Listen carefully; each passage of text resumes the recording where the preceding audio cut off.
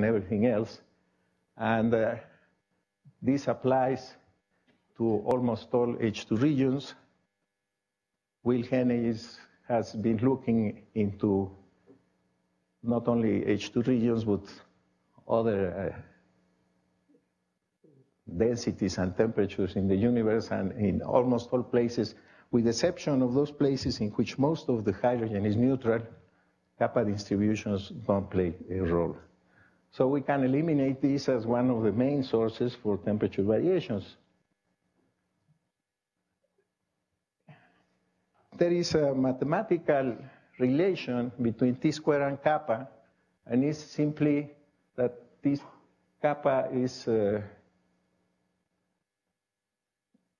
for a, a, given kappa, you get the a value of T square. Somehow the question is, is wrong, but this it, it goes like one over kappa roughly. So a kappa of 10 is a t square of 0.096, a kappa of 20 is 0.048, a kappa of 40 is 0.024.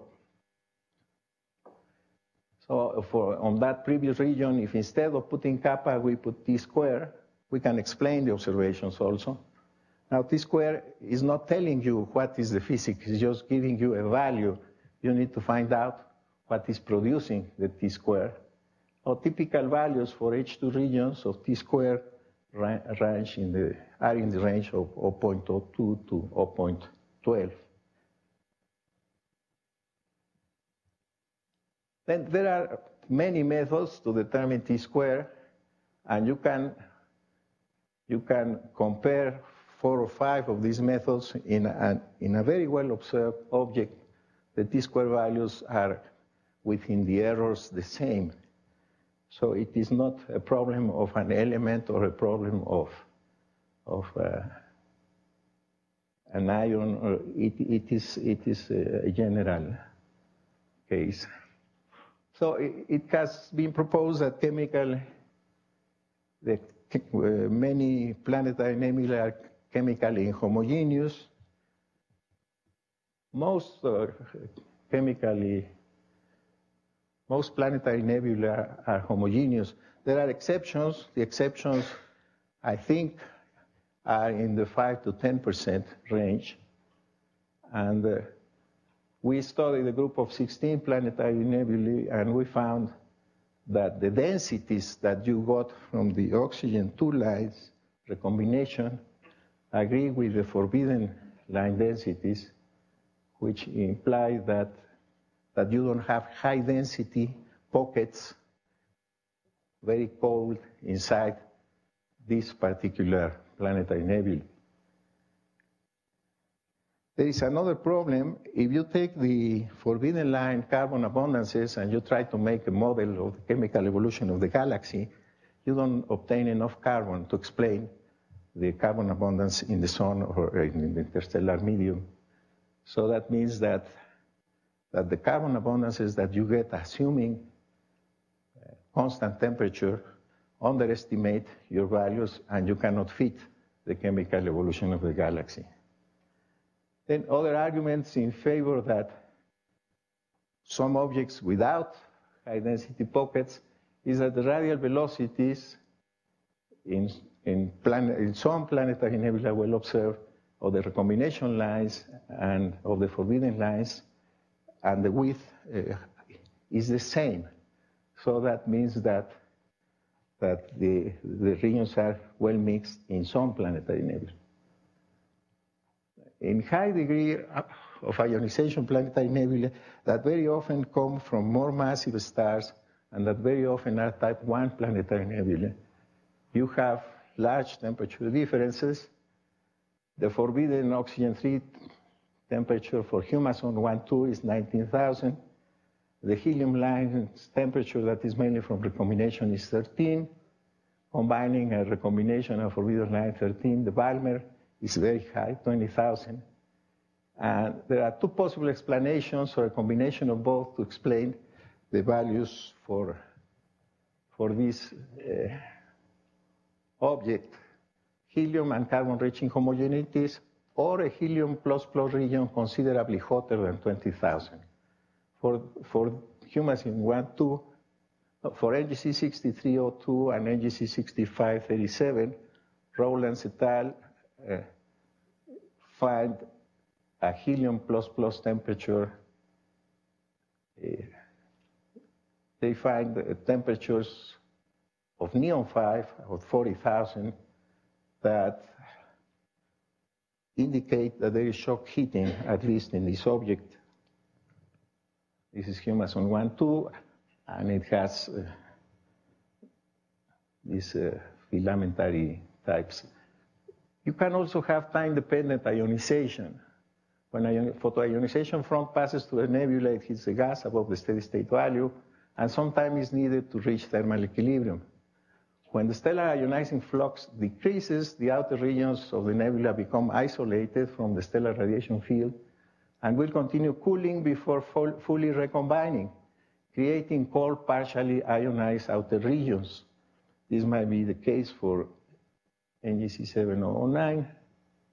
You have uh, this object that could apply to that.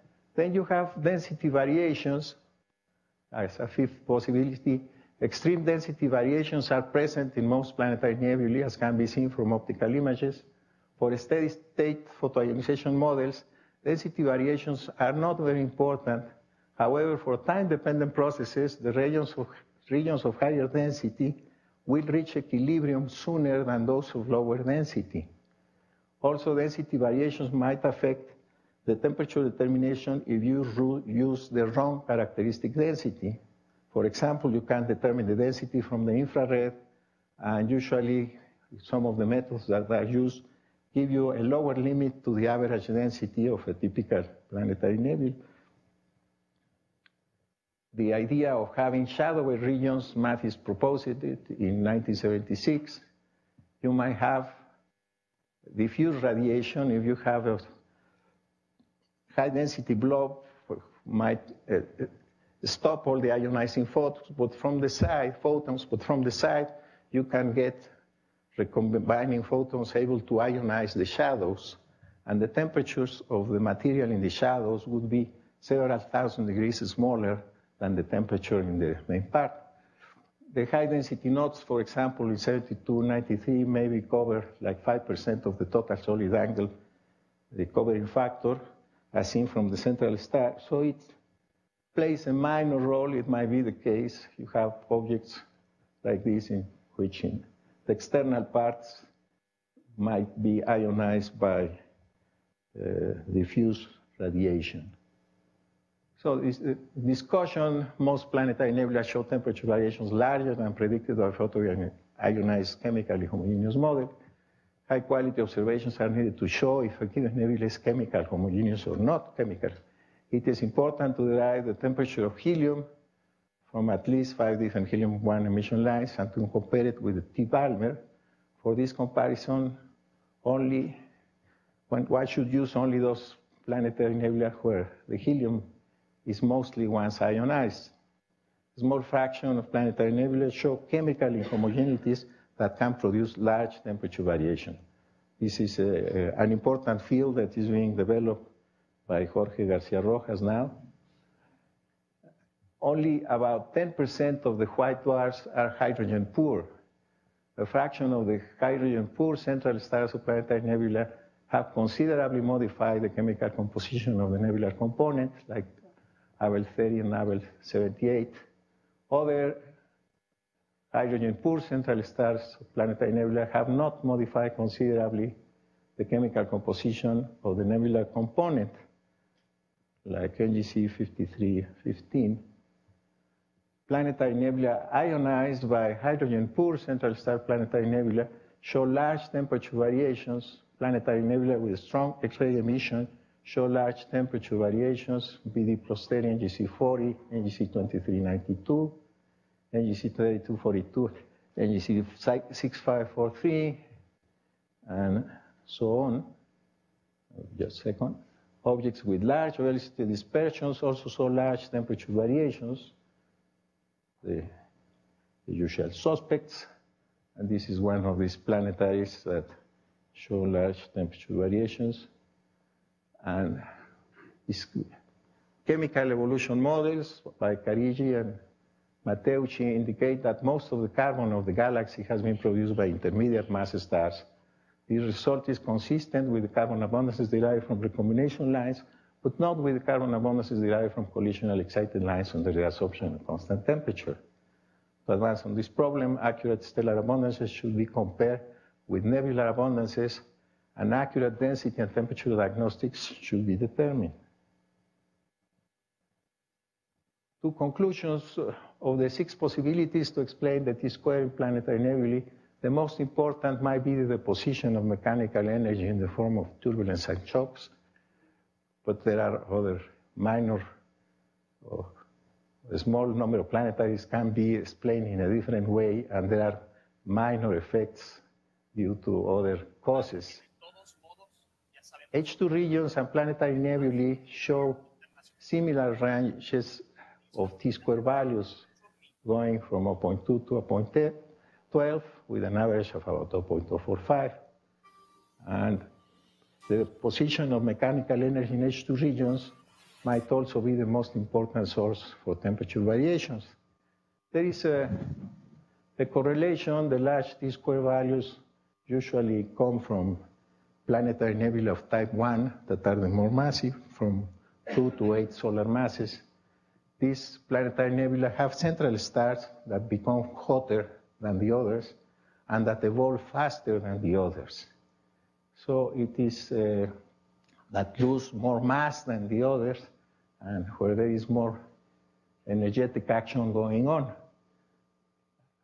So if one, uh, one wants to study chemical evolution, one has to, of galaxies, one has to consider the different types of planetary nebula to which original mass they correspond, and then uh, use the results to try to constrain the galaxy. And uh, I think that's all that I want to say. Thank you.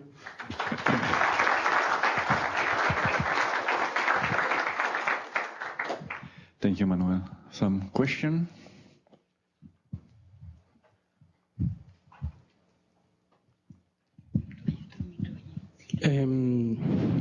Nice talk, Manuel.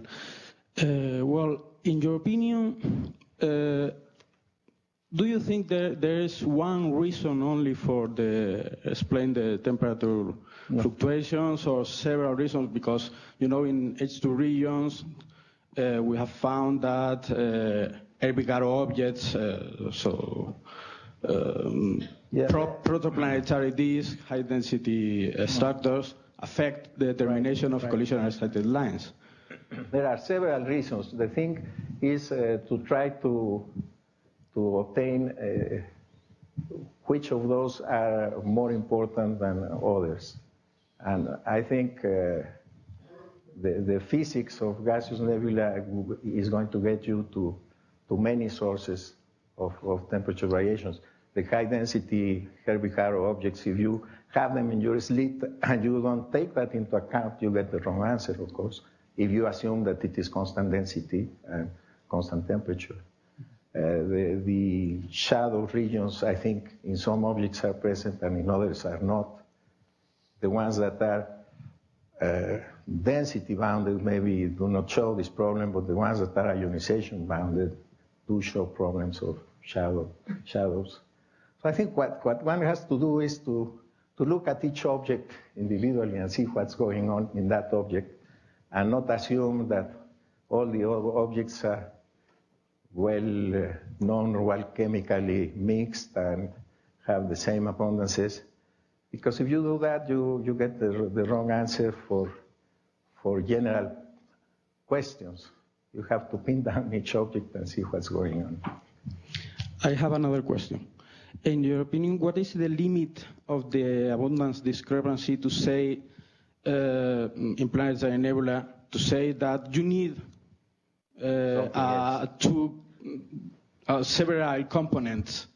I think if the velocity is is very small, you you might favor chemical inhomogeneities.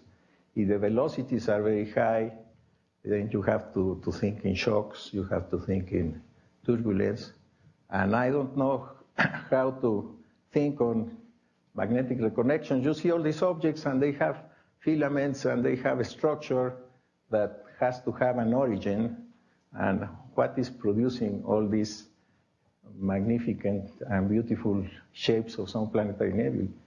One has to understand how these shapes are formed and shocks might, might small velocity shocks, not very high velocity shocks, might have something to do with it. Uh, other questions? Manuel, going back to my talk yesterday, when they included the effects of turbulence in the in the uh, photosphere, that affected the abundances. I mean, that, that made a change, but the abundances went down rather than up. Mm-hmm. So this is the effect you, you want here the opposite effect. See here where the almost everything gets the the abundance is going higher.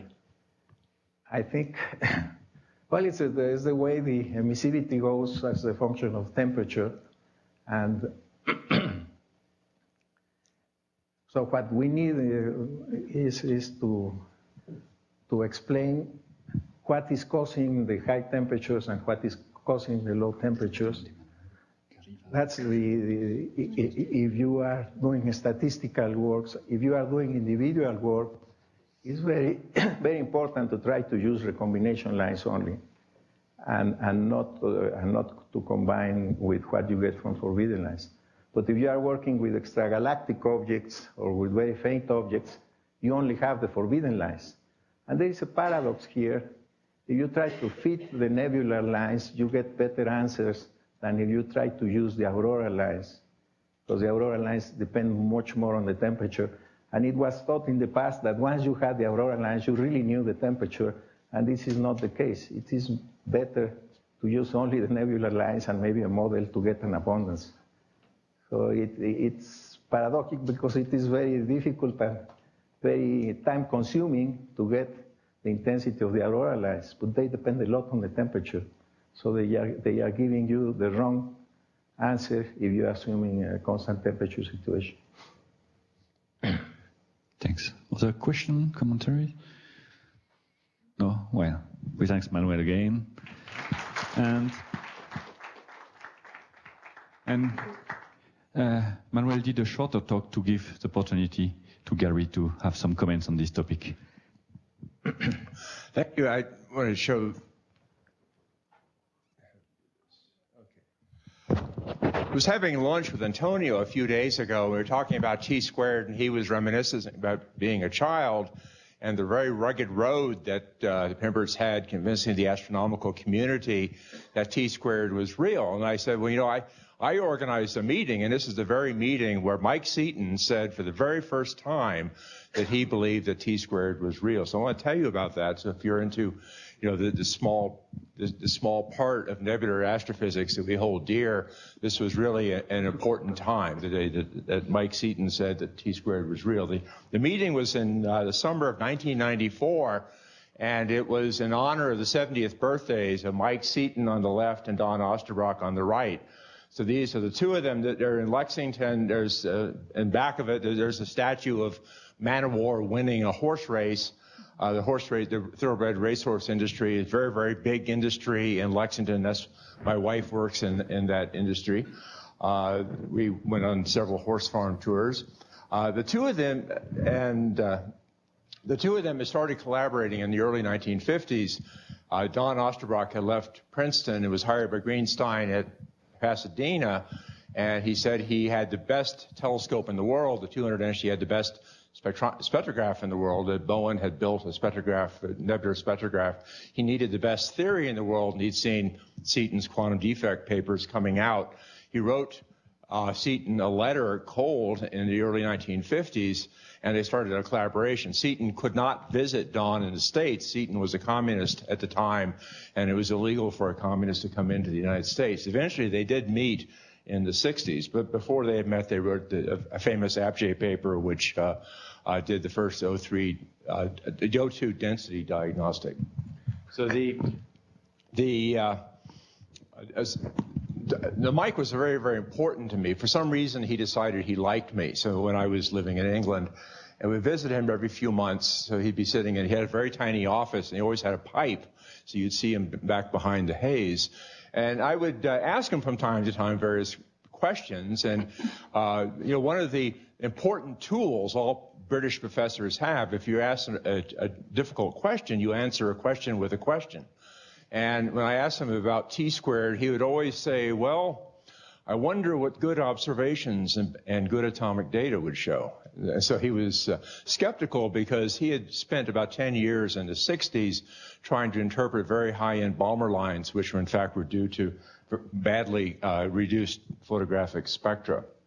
So he uh, uh, uh was, was always great fun. I had many evenings with pubs. The thing we often talked about uh, was was airplanes. He loved to talk about his days in the RAF. He had an astonishing series of, of paper of stories about his adventures in the RAF. One of the most famous had the punchline that Mike Seaton always did his calculations as if his life depended on it. Uh, this was the meeting. It was very. Uh, the, the field is very collegial. We all had codes and normally you think different pe- people, different codes, you get into a big fight over who's right. That's not how it works in this field. We got together as sort of like a 12 step program. My name is Gary and my code has bugs. Uh, this is, uh, two people are here. Here's Ravi and here's Luke. Uh, some of the more high points here are the modelers. Here's Hagai Netzer, uh, Tim Kallman, that's me, Don, Mike, uh, John Raymond, uh, Pat Harrington. These are, Ralph Sutherland works with Mike Dopita. Uh, the late Bob Rubin, he took these photos. Uh, this may or may not be Barbara Ercolano. Does anybody know? Someone? I don't. I don't know that. Okay, so uh, uh it was a, a, fantastic meeting. We we uh, had a, uh, made a lot of progress. We established your benchmark models. If we all use the same atomic data, we should all get the the same answer, and no no fights of, of huge egos. Uh, there are a series of talks. Now, this is not. This slide does not come across very well because of the glare. Uh, uh, this is days when we used overhead projectors. If you look very carefully at what uh, is on the left, uh, this is Mike giving his talk. And on the left, he's wor- slowly working his way through uh, recombination theory. So he talks about Burgess, 1959. Burgess, Alan Burgess was his student at UCL. This Burgess and Burgess and Summers. So Summers was Alan Burgess's student at, uh, uh, at, at, Cambridge, and it, it goes through a series of uh, working his way up. So what he's doing is working his way through recombination theory because people had noticed even in the 1940s, there are some very strong heavy element recombination lines in planetary nebulae. Now, Mike Seaton always did his calculations as if the, uh, his life depended on it. And there's an, an expression he would use, you, uh, I, I, want to be able to stand by this number, meaning you stand up for it. And he, he's working through all the possibilities, what can go wrong in recombination theory. On the right, you can see QDT, that's quantum defect theory. He was a master at, you know, when you want to solve many body quantum mechanics, that's hard work. He was the master at taking the available machinery, making the right approximation so that he could solve the problem on the machine he had that year.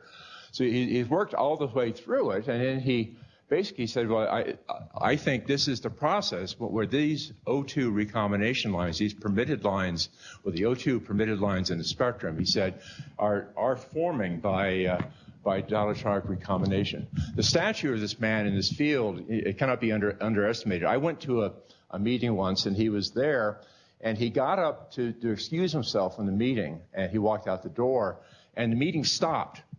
No one wanted to be presenting anything while Seaton was out of the room. So Harry Nussbaumer said, uh, uh, we shall wait for the return of the Pope. El Papa. And Mike came back in and, and, the, and the meeting continued. So where he ended with this is he said he, he under, he think, he's prepared to stand by how these lines form. And uh, he said that this really is dielectron recombinations by a process we can compute. He had computed it. And he said that uh, the abundances in this planetary nebula really is an order of magnitude higher than you get from the forbidden lines. And then he said, uh, he had long been very, uh, very skeptical of the idea of temperature fluctuations in nebulae, and he said uh, uh, clearly that he'd come to accept it. The temperature fluctuations were, were clearly present in this nebula, and so this was an, an hour-long talk that he that he had given. I was uh, a little bit shocked. I didn't say anything at that point. And when his talk was over and his coffee, I walked up to him and said, Mike, did you just say you accepted temperature T squared? And he said, yes, T squared is for real. So, so that was the, the day Mike, Mike Seaton uh, signed on to T squared. Thank you very much.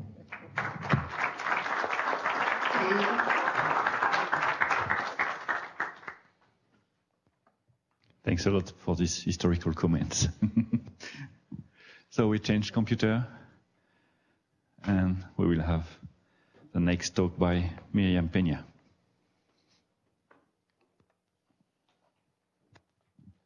Poderosa es ¿En qué importa?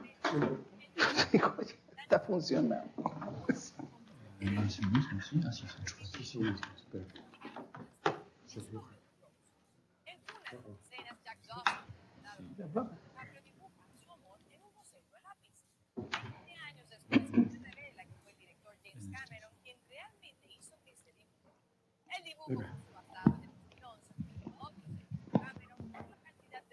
De. curioso es que la primera escena que grabaron para la película fue esa. Así que la primera escena de los dos Mi ve eso. Qué complicado tuvo que haber sido eso. Yo soy Daniela Giacomo y los veo en el siguiente. Ya.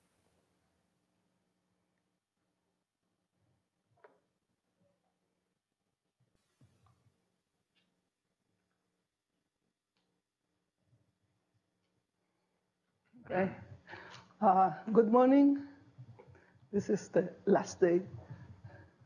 So I'm going to present here a work with we have been doing along the years with all these people, Sheila, Jorge, Liliana, Mike, Richard, Grazyna, Stasinska.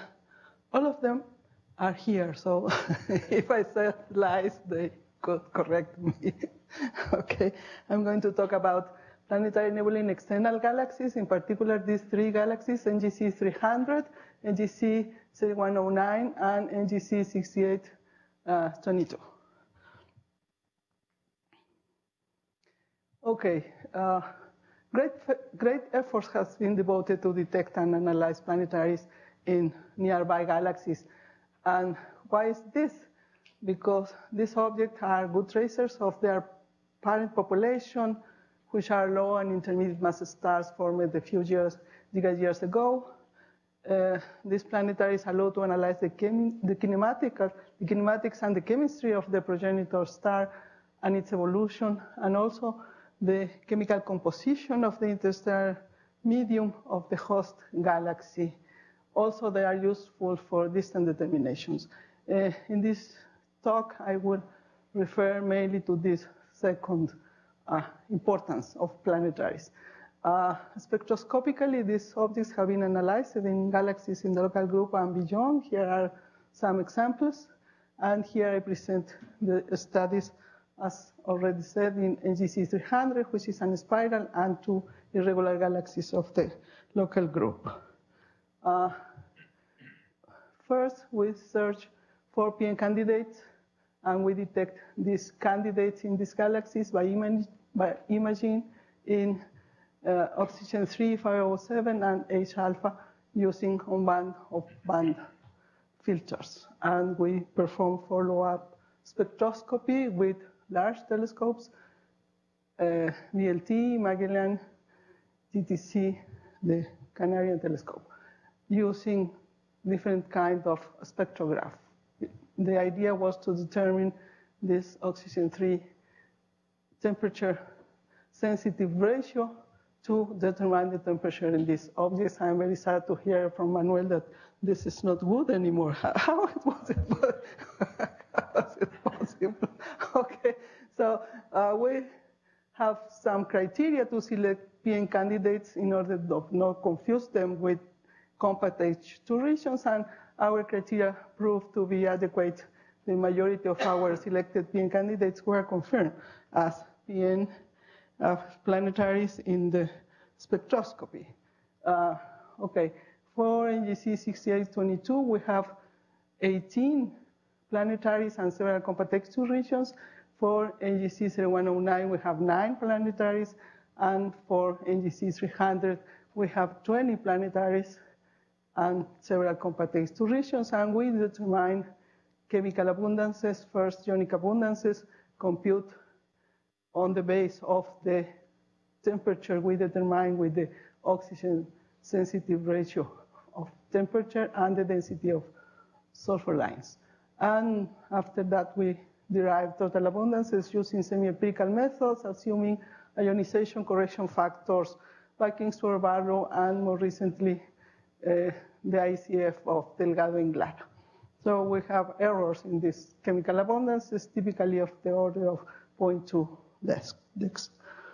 The first, the first galaxy NGC 6822, this is an irregular, it, it's in the halfway between Andromeda and the Milky Way. It has a metallicity similar to the LMC, very active star formation, has a lot of H2 regions. Uh, here we are showing the central part, which is uh, apparently an, it is an optical bar. The galaxy is much larger than this. It has a huge disk, hydrogen, neutral hydrogen, and also a huge spheroidal of um, carbon stars. Uh, here we detect 26 PN candidates reported in this work, and we analyze 18. Spectroscopically, we analyze 18 of these candidates, and we find two kinds of PN populations. The, in blue, there are planetaries belonging to a young population, and in pink, here, there are planetaries belonging to an older population. The results of this work were published in several works here. Now I'm going to review the abundances, the chemistry in, this, in these objects, mainly the neon to oxygen abundances and also the, uh, the nitrogen. In this case, I'm showing the, a graph with the nitrogen to oxygen abundance plotted against the oxygen abundance in black, we have here the planetaries. In red, we have the compact H2 regions we analyzed here. And what we found is that we have sort of two kind of populations, and all one population with oxygen abundance lower than eight in this scale, or in this scale, and younger population with oxygen abundance similar to H2 regions, and in uh, relative to the nitrogen, to oxygen abundance, planetaries are richer than H2 regions, which is normal in, in most of the samples of planetary nebulae. In this plot, we have overlap models of stellar evolution for these low intermediate mass stars uh, for different metallicities. Here above, we have Karakas 2010 models showing the behavior of the models with different initial masses. Uh, and in the second graph, we have the same, but with models by Ventura et al. In the case of models by Karakas, we found that our planetaries go in the metallicity range from very low metallicity to metallicities similar to the uh, 0.004. It is this magenta thing here, and this is similar to the metallicity of the small Magellanic Cloud. What we found in these models is that, uh, okay, uh, we have several planetaries with low nitrogen to oxygen, which are not reproduced by the models by Karakas. In the case of models by Ventura, the, we have here two sort of models, 0.001 and 0.004. And we found that these models here, especially in this part of low nitrogen, nitrogen to oxygen abundance, we find that Ventura models reproduce better the, the observations. What else? We have very nitrogen-rich planetaries in this zone. Those correspond to type 1 planetaries, planetary nebula in this galaxy, and we have two of them in the low metallicity regime and two of them in the high metallicity regime. So the conclusion is that type 1s planetaries occur, occur at any metallicity, not, not necessarily in the high metallicity regime. And these planetaries should have had an initial mass uh, of from three to four solar masses. In the case of neon here, we again have uh, in, in, this in this axis I have the neon to the neon ratio, the, the uh, neon abundance, neon to hydrogen, and here the oxygen to hydrogen. Okay, and the models are again overlapped. Uh, what is interesting here is that neon and oxygen grows in locksteps, which is a known thing for planetaries and for H2 regions. Uh, the models of Karakas from with, with metallicity from 0.001 to 0.004 do reproduce the data, but the models by Karakas 2010 predict too much, too much neon uh, for the objects, especially if the initial masses of the stars were uh, above 2 to 2.53 solar masses, and we don't find objects in that zone. Uh, what else? Uh, here we have the models, the same graph with the models by Ventura et al., and we find that Ventura et al. models do predict or reproduce better our, our observations. So in this case, the models by Karakas, uh, to our opinion, are producing too much neon in this phenomena that is very interesting. The neon is enriched due to two alpha captures of nitrogen 14 producing neon 22. The other irregular late spiral NGC 3109. Uh, this work was presented in a poster by Flores Duran. This meeting, I hope all of you saw this poster. It is not there already, but, but Sheila is there, so you can talk to her. Okay, this is the dominant galaxy in the, in the Sextans group. It's at a distance of 1.3 megaparsec. It's very low metallicity. Very low metallicity from H2 regions is similar to the NCMC. Okay? We uh, detect 20 planetaries here, are in green in this graph, and in magenta we have some compact H2 regions. And we performed follow-up spectroscopy of 10 of the planetaries. And here are the results. Again, here is a graph showing nitrogen to oxygen ratio versus oxygen. And in black, there are the planetary nebulae. In squares, open squares, are the H2 regions. What is interesting, very interesting here, is that the planetaries are oxygen enriched relative to the H2 regions by about 0.2 dex.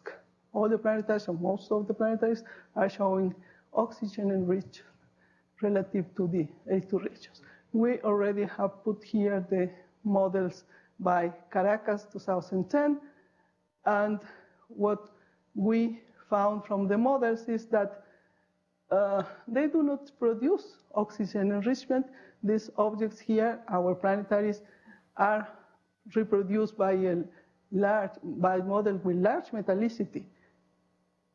And uh, so these models by Karakas are not producing enrichment. Uh, again, the very massive uh, planetaries with very massive stars, initial mass stars, should be very nitrogen rich. And we have only one object here with this very large nitrogen to oxygen ratio, which should have a mass larger than two solar masses at the beginning. Here we have the models by Ventura, by Ventura et al. And again, we found that these models reproduce better our observations eh, in the sense that these models seem to have predicting oxygen enrichments in these planetaries, in these stars. And what about neon? Here we have the neon. Again, neon and oxygen grows in lockstep. Uh, again, we are seeing that here are the H2 regions, here are the planetaries. The planetaries are oxygen richer than the H2 regions. And again, the models by uh, Karakas are predicting too much neon for stars with initial masses between 2, 2.5, 3 solar masses. The models by Ventura are reproducing better our, our uh, data. Anyway, there are a couple of objects here with very low, very low neon that are not reproduced by any of the models. The other galaxy, NGC 300, I put this picture from Messenger. It's such beautiful that I cannot avoid it. Okay, this galaxy is a late spiral galaxy in the Sculptor group. It is at a distance of about 2 megaparsec, and it has a central metallicity 8.57, and there is an abundance gradient in metallicity in this spiral as there is in most of, of spirals. We analyzed two zones. We searched for emission line objects in this central zone and in a zone in the periphery. And we detect about 100 objects, PN candidates, which are shown here. Here we have our PN candidates, and we perform follow-up spectroscopy for about 30 of these objects. Oh, how is my time? Come away. Okay. Okay. So uh, here we are showing some graph where we separate planetaries from H2 regions, and we see that planetaries behave differently from H2 regions, especially in what is uh, relative to the nitrogen to oxygen abundance, and also the neon to oxygen is showing here. The neon to oxygen for planetaries is slightly larger than what is found for um, H2 regions. The other elements like sulfur and argon don't show this, show this kind of behavior. Neon to oxygen in this 30, about 30 planetaries. Again, the planetaries are nitrogen richer than the H2 regions, which are in green here. The planetaries are in black. The planetaries are nitrogen richer. Uh, the models, again, by Karakas. In this case, Karakas is the blue one. Ventura are these red stars here. And what we found is that Ventura, Ventura models going from small one solar masses, two, three, whatever, four, five, six solar masses in the red, the red line here. These Ventura models are predicting or are reproducing better our observations, reproducing these planetaries with lower nitrogen to oxygen ratio. We have very, a very rich planetary here, which is a type 1, which should have had an initial mass of about 4. The central star, 4 solar masses should have been the, the, the mass of the central star. Relative to neon, uh, what we have in green are the H2 regions, and in black, the planetaries. The planetaries, here we have neon versus oxygen. So the planetaries are showing more neon than the H2 regions. The models by Karakas here are the blue ones. Again, they are predicting too much neon. The models by Ventura do reproduce better our observations. Uh, again, we have a relation neon to oxygen growing lockstep here. And again, we have the same planetaries with very low neon that are not reproduced by models. What can we say more of this galaxy? We uh, analyze the gradients of chemical composition. This is the gradient of oxygen. This is the oxygen abundance, abundance against the distance to the galactic center. And in blue, sorry for the change of colors, in blue we have the H2 regions, in red we have the behavior of planetaries. So there is a clear gradient here in oxygen for the H2 regions. It's similar to the one who was reported by Bresolin. Uh, but in the case of planetaries, what we have is that at a given radius, they show very dispersed oxygen abundance, and the gradient for the planetaries is flatter. It's flatter than what is for the uh, H2 regions. So in this case, we have many central stars with lower oxygen abundance in the central part than the oxygen abundance in uh, H2 regions. And what is, what is the cause? It could be that these planetaries belong to an old population, and also migration could be affecting the behavior of oxygen versus, or the gradient of oxygen from planetaries because all planetaries could have moved from their original position in the galaxy and flattening the gradient. So uh, in several spiral galaxies, this is found, uh, other gradients. Okay, we going to the discussion. Or in several spiral galaxies, like this one, M31, M32, M81, and even the Milky Way, the oxygen to the abundance gradient of oxygen for planetaries are flatter than what is found for H2 regions. And in, this has been interpreted by other authors as in the past the gradients were flatter and they are steepening with time. However, now we are finding that there, there is production of oxygen and neon in the central stars of this planetary, which could be modifying the abundance and the gradients could appear flatter. Also, migration could be flattening the gradients in these spirals. Therefore, oxygen and neon abundances are not adequate or inadequate for analyzing the original interstellar medium in spiral galaxies, and probably argon and sulfur, which are very complicated, but probably argon and sulfur gradients should be analyzed better. And my conclusions.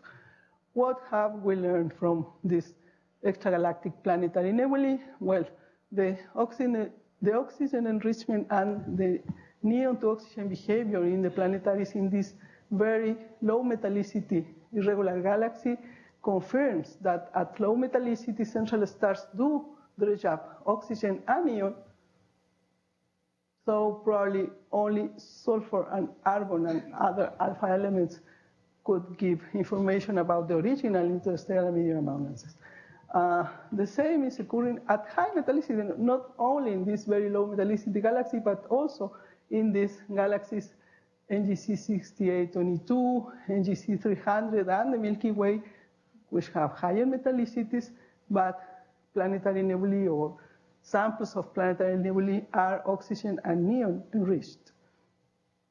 In several spiral galaxies, oxygen abundance gradients for planetaries are flatter than the gradients shown by, by two regions. Uh, elemental production in the central stars and migration in the galaxy are possible causes for such a behavior.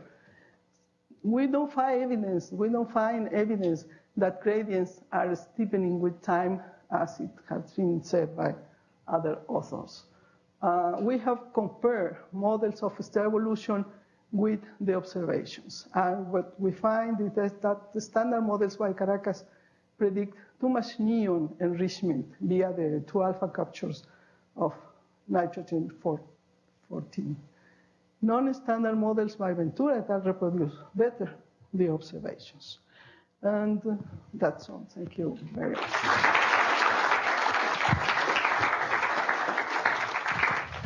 Thanks a lot, Miriam. Any question, comments?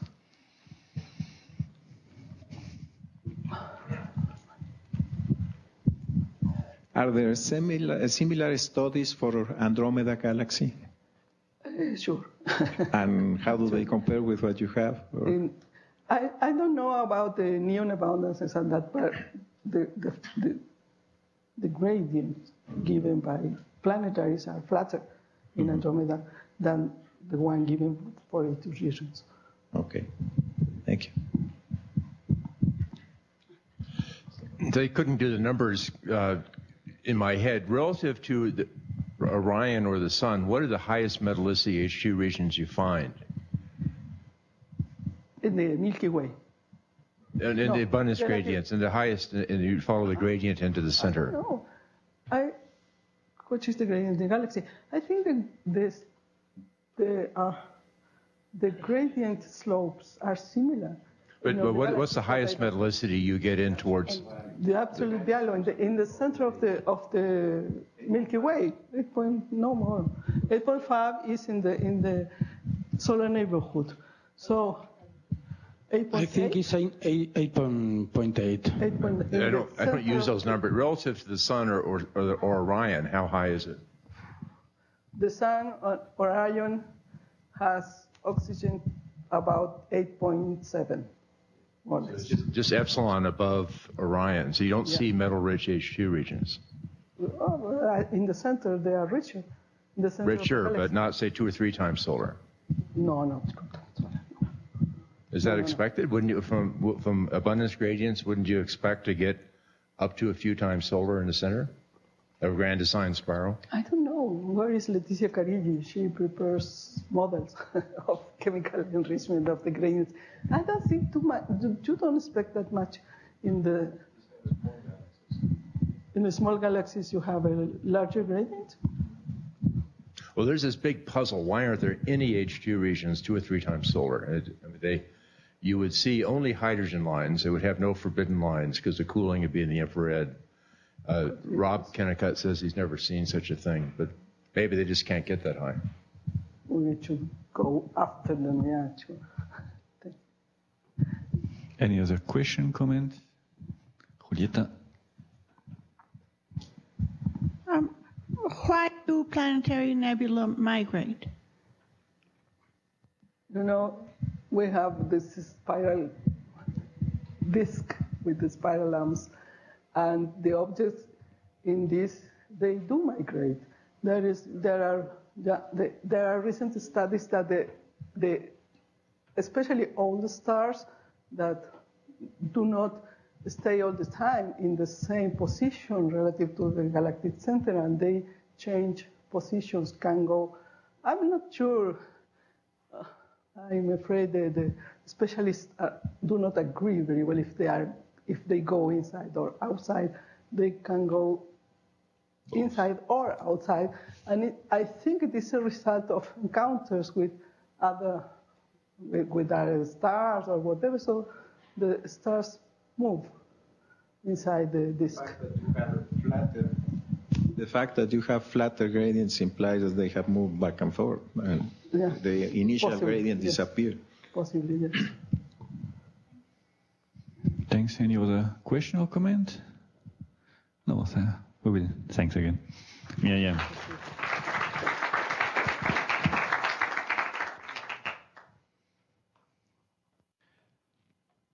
Next speaker is Piet van Hoof. He will give us a talk on the very fast evolution of the VLTP object least number Sagittarius.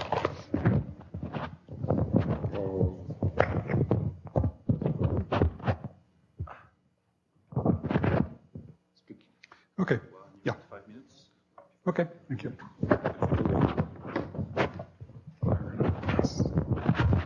Okay. Okay. Good. Thank you. So here you see. Oh, sorry, that was not what I wanted. So here you see a list of uh, my collaborators. Um, the ones I want to point out are uh, Stefan Kimeswenger, Griet van Steen, and Adam Avison. They've been very helpful in the data reduction of the X-shooter spectra and the ALMA spectra that you will be seeing uh, later on. Um, so I'll start with an outline. Um, there's an obvious introduction where we'll talk a bit about the nature of the object. Um, I will mention uh, a few things about the evolutionary models of Sakurai object.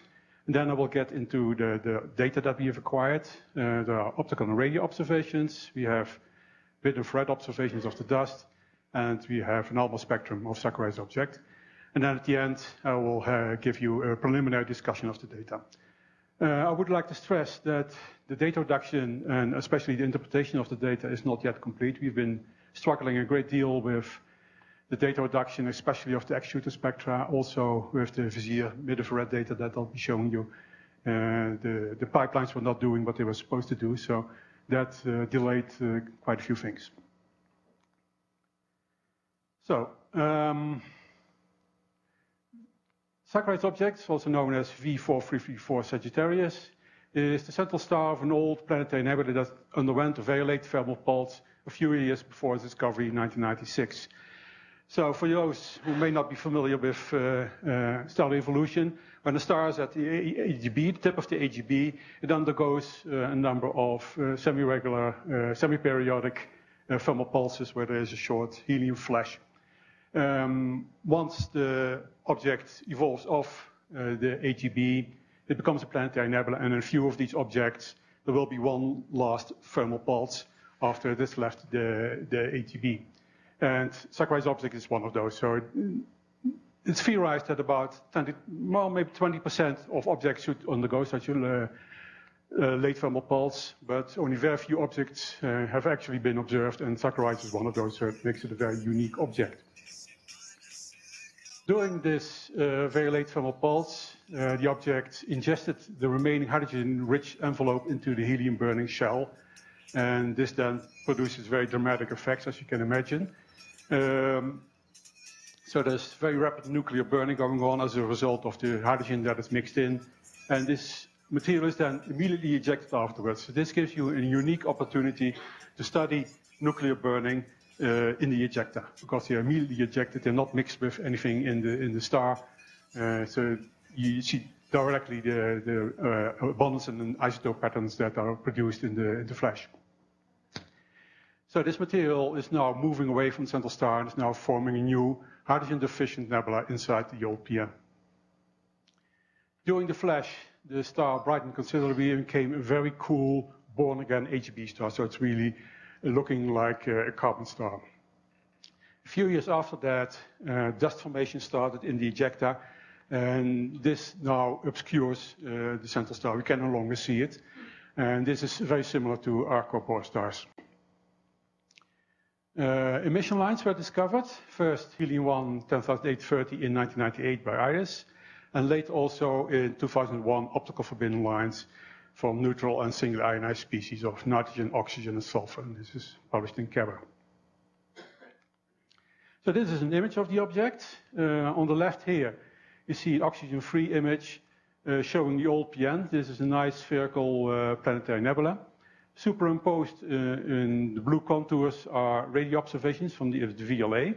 So you can see that the old PN has been detected by the VLA, but there's also here a central source this coincides with the, new ejecta that were ejected uh, during the VLTP. And here in the inset, you see a blow up of, this region here. So you can see this. Uh, this looks like a bipolar uh, nebula here, but this is that will probably be an overinterpretation. So this has been published in Hajduk uh, et al. 2005. So uh, we'll go through a few follow-up observations that were not done by us, but which are relevant for uh, the discussion. Um, al. observed Sakurai's objects uh, using the VLTI, and they detected the presence of a thick and dense dust disk with dimensions 30 by 40 milliarc seconds. So this is the model that was produced to uh, interpret the, VLTI data. And so you can see the disk here, and here you can see into the inner regions of the torus. So this is the brightest part where that is directly irradiated by the central star, and this is showing out. And on the other side you can't see because there it's obscured.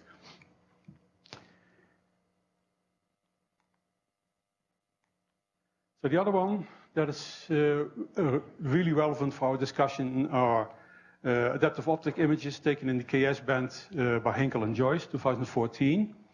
Um, so they have done this twice. On the left-hand side, you see images taken in 2010, and these ones are taken in 2013. Uh, the central star is here marked by the circle. And you can see there are bipolar lobes here, and here that were detected in both images. You can see that they are expanding and also becoming more diffuse. And what you also can see is the central stars can considerably brighter here in the 2013 image.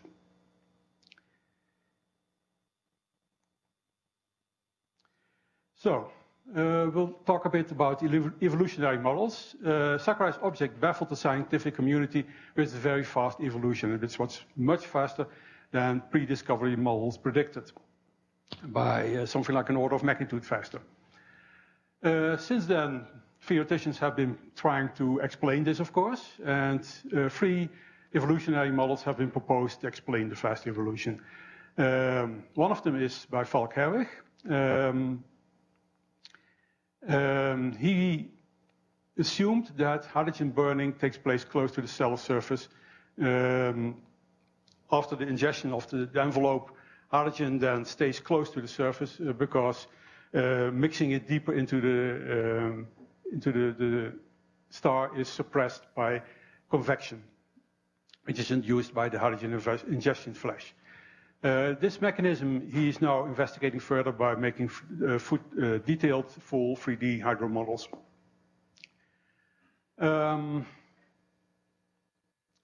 so Lowland McDonald was the first to predict a double loop evolution in the Hertzsprung-Russell diagram. I will show you that later on in the graph. Um, this is the result also of the hydrogen ingestion flash. So the first loop is a result of the HIF-6 place very close to the surface and therefore immediately affects the, the, the photosphere of the star. The, the regular helium flash happens deeper inside the star and takes longer to reach uh, the surface. And that then becomes the second loop. Uh, finally, uh, Miller Bertolami et al. claim that they can reproduce very fast evolution by using very small time steps, but without changing the mixing physics. And this then raises doubts about the accuracy of the other calculations.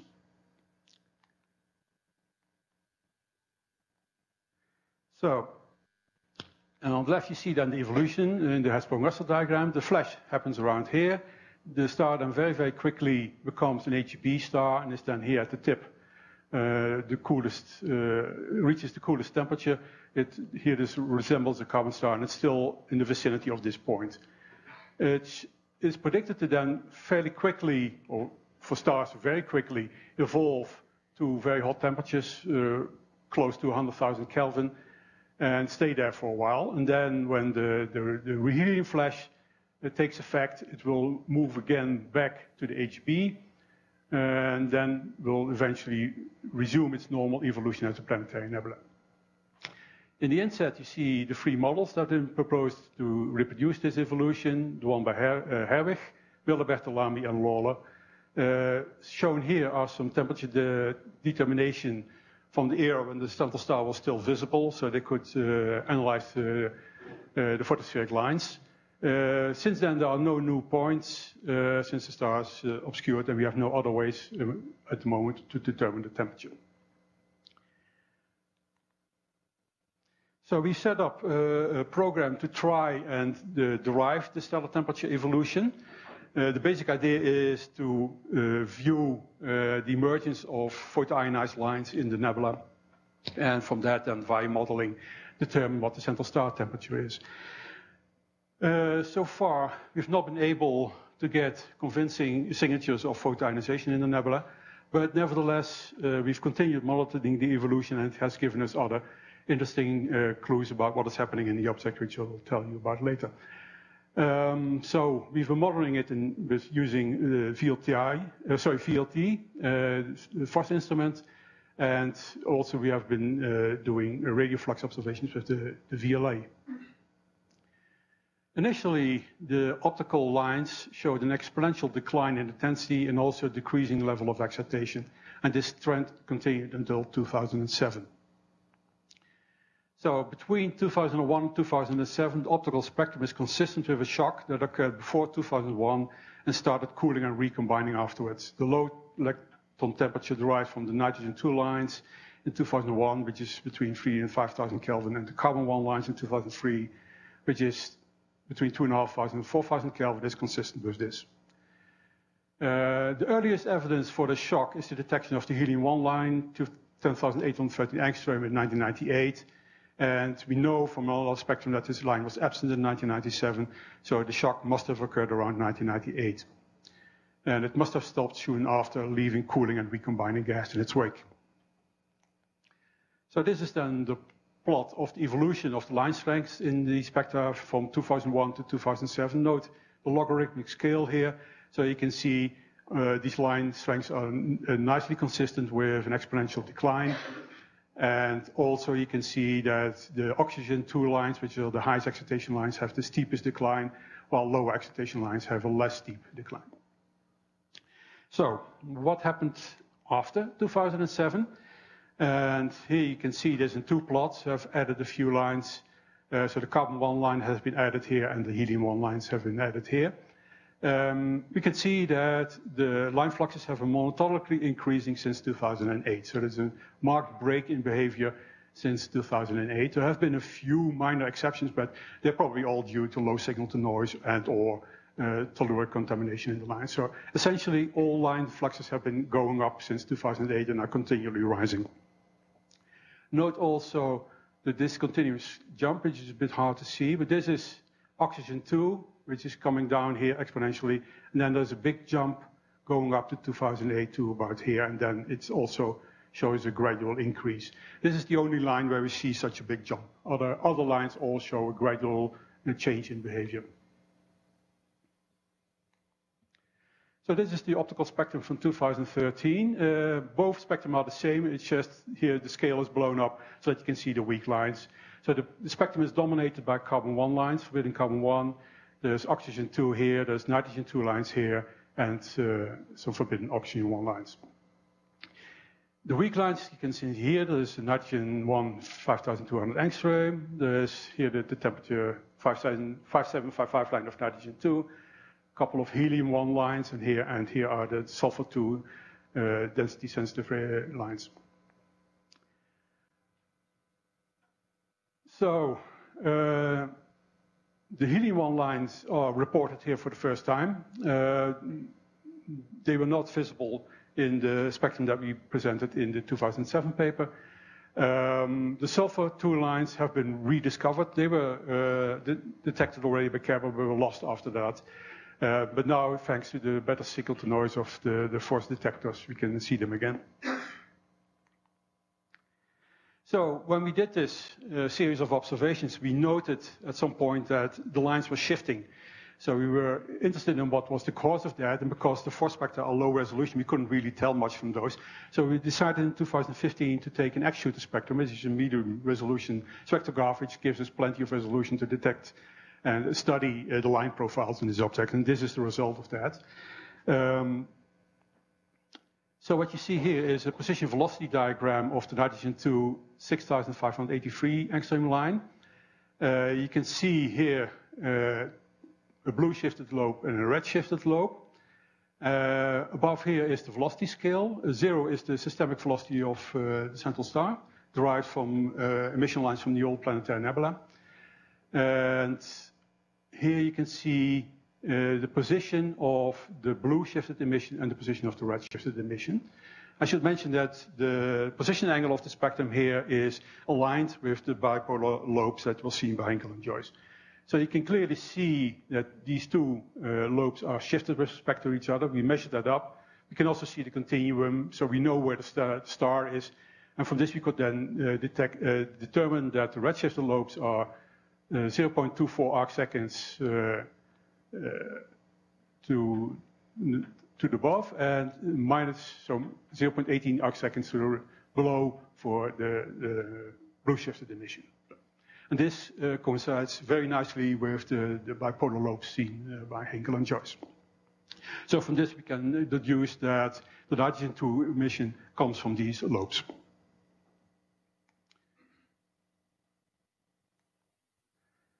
So this is the same line, uh, nitrogen 2 line, and I've now taken in blue an old observation. This is uh, FORS spectrum with R is 1200, and in red you now see the, the actual spectrum that you just saw in the position velocity diagram.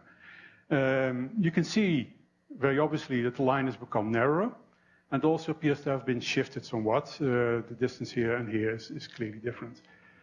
Uh, again, the systemic velocity is set at 0 kilometers per second here.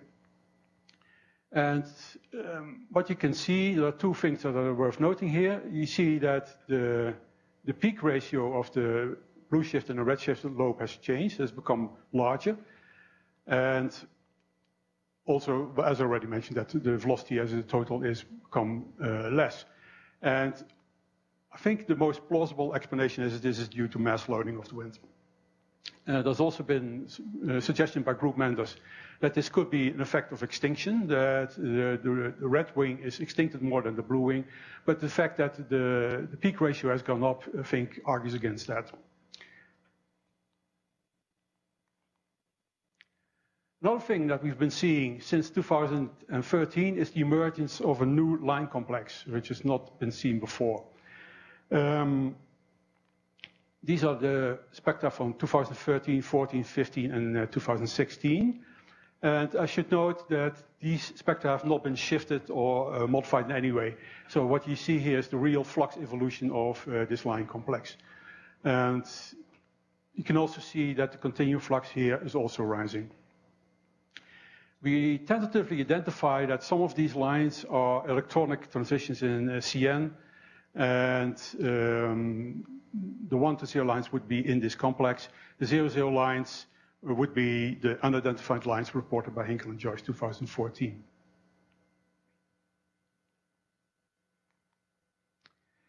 We've also been doing uh, observations uh, with VISIR on the VLT. So this is a mid-infrared spectrograph which allows us to get dust continuum uh, at 12.9 micron, micron. The original goal of this uh, proposal was to get neon 2 emission. We've not seen that, but we do, of course, get the dust continuum, so we'll report on that. Uh, this graph contains uh, continuum fluxes from a, number of sources. The blue asterisks are taken from Spitzer IRS spectra. They are by far the most accurate fluxes, and they show a very nice decline of the dust continuum. So the red diamonds are the VISIR observations. Uh, data reductions of these are not completely finalized yet. Um, that's, for instance, the reason why there are no error bars on here. Um, but likely these three points have very large error bars, and that would be the reason why they deviate so much from the trend. Uh, these should be better. Um, these data points are also still uh, work in progress. And there's also here uh, barely visible uh, diamond uh, point from WISE, which also seems to deviate from the trend uh, seen in Spitzer. It's not clear yet why that is the case. Um, but what is clear from the data that we have is that up till 2011, there is a roughly exponential decline in the 12.8 micron flux consistent with cooling dust. What happened afterwards is not clear. It could be that the flux has just stabilized or it went through minimum and is now rising again. So that we cannot uh, say which one of the two it is. Uh, Hinkle and Joyce claim that the dust flux is, uh, is increasing at the moment, but I don't know. So on to the VLA observations. So we detected radio flux in 2004 and 2005. You already seen that in, one of the earlier slides. In 2006 and 2007, we saw a very marked increase in the radio flux. And at the time, we interpreted that as evidence for the onset of photoionization of, of carbon. However, later data that we've recently obtained show that the radio flux has returned back to the levels of 2004 and 2005. So uh, photoionization seems to be out as an explanation for this, so that leaves only uh, shock as a plausible explanation for the rise in uh, radio flux here.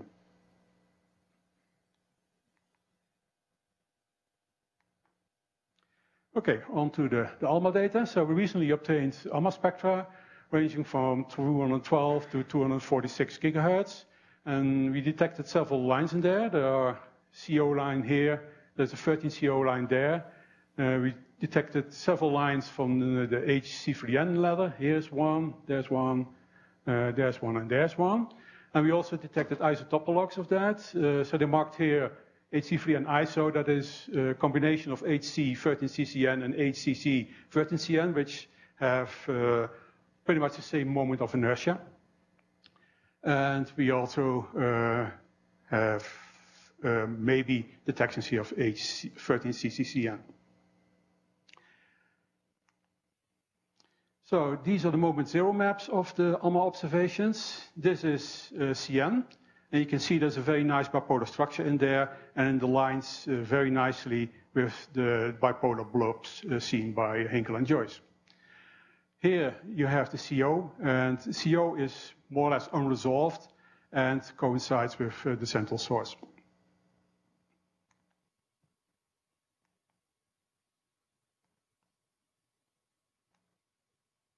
Mm, doesn't want to switch.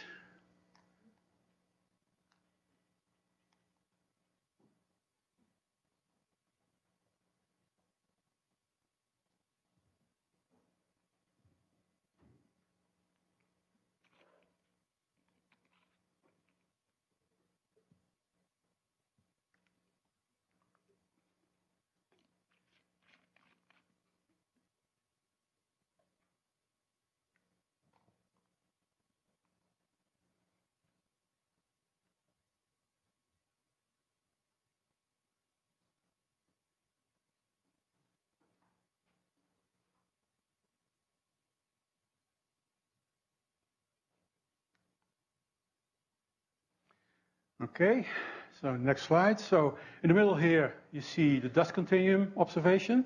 And again, it's consistent with a point source uh, coinciding with the central star. So that means we see no dust emission in the lobes. And here, then finally is the HC3N emission, again, uh, uh, uh, consistent with a point source coinciding with the central star. So, cloudy modeling. Unfortunately, we have no cloudy models to show. Um, because the data reduction was taking much longer than expected. Uh, we didn't get around to making the models. Also, uh, the current version of Cloudy cannot predict HC3N.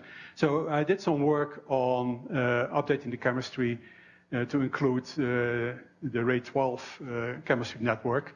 This is work in progress. Um, it will probably not, or certainly not be in the C16 release, but most likely it will be in the subsequent major release. So that's something you can look forward to. So we'll then go on with a preliminary discussion. It's more of, it's kind of a combination of a, a summary and uh, uh, initial uh, discussion of uh, the results that we have. So V4334 Sagittarius underwent a VLTP a few years before its discovery in 1996. It ejected a new and hydrogen deficient nebula in the process. The geometry of the source was clarified by Chesneau, who discovered the presence of a dense and thick dust disk and Hinkle and Joyce discovered the presence of bipolar lobes in the KS band. These appear to be expanding uh, with a size of about 0.4 arc seconds from tip to tip. Emission lines were first discovered in 1998, uh, helium-1 line, and also in 2001, uh, the optical lines. And the optical emission spectrum has been monitored since. And from 2001 through 2007, the optical spectrum showed an exponential decline and that was evidence for a uh, cooling shock that occurred around 1998. A plausible explanation for this shock is that this is the fastest material ejected in the VLTP, hitting older ejecta, possibly black-filled material from the old PN. Between 2005 and 2007, the 8 gigahertz radio emission showed a marked increase and has returned to pre-2005 levels since we see no counterpart for this behavior in the optical data. Since this most likely is caused by a shock, it must have occurred in an obscured region, which means it must have been very close to the central star, possibly the inner regions of the disk. The optical lines flux started to increase again since 2008. Uh, the sudden jump in the O2 flux could point to a second shock as the cause of the changing behavior. So maybe this is the same shock you see in the radio between 2005 and 2007, now breaking out of the obscured region and becoming visible in, uh, in uh, optical wavelengths. And our working hypothesis is that the wind is now interacting with the lobes, and uh, the X-shooter spectra of the, nitrogen 2 line nicely confirm this. The optical spectrum also shows that new lines have been emerging since 2013, and some of these have tentatively been identified as electronic transitions of CN. Um, the optical CN lines uh, are formed close to the central star. I did not show this, but it also comes from the X-shooter spectra, possibly in the disk. If the optical CN lines are pumped by UV radiation from the central star, this is an indication that the reheating of the central star has started, this would then be uh, another means of getting the central star, uh, star temperature evolution as a function of time. The optical spectrum shows a rising continuum emission since 2013. This could indicate that the extinction of the central star is becoming less, or that the starlight is more efficiently scattered. Uh, the flux density of the dust emission at 2 sorry, 12.8 microns showed a roughly exponential decline until 2011 consistent with cooling dust. Uh, the evolution since 2011 is un unclear, so we can neither reject or nor confirm the claim from Hinkle and Joyce that the dust is currently heating up. Uh, this is then my last slide. Uh, in ALMA spectra, we detect the presence of CO, CN, HC3N, and 13C isotope of these molecules. The carbon monoxide and HC3N plus isotopologues emission is unresolved, so most likely comes from the disk. It is not clear whether these molecules come from the stellar photosphere and survived the ejection or were formed in situ. Uh, the presence of C2H2 uh, discovered by Evans in uh, Spitzer IRS spectra could point to photospheric origin. The continuum is also unresolved, so we see no dust emission in the lobes, and this indicates that all the dust is in the, dust is in the disk. The ALMA CN and 13CN emission is resolved and matches the bipolar lobes. So maybe CN is formed by shock-induced dissociation in the H, of HCN in the lobes. And so we could be witnessing here the very early stages of hydrodynamic shaping of a bipolar nebula. And uh, I will leave it at that. Thank you.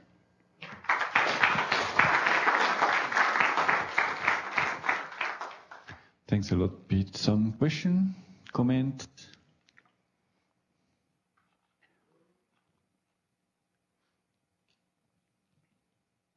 No?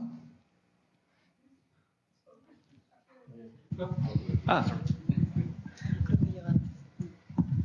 So, so, maybe I missed this, but what is the evidence that the, the central peak is actually a disk? And it's that comes from VLTI. So, oh, okay. um, if I oh yes, you I remember. okay. yes. Yeah, that's it. Okay. Yeah. So,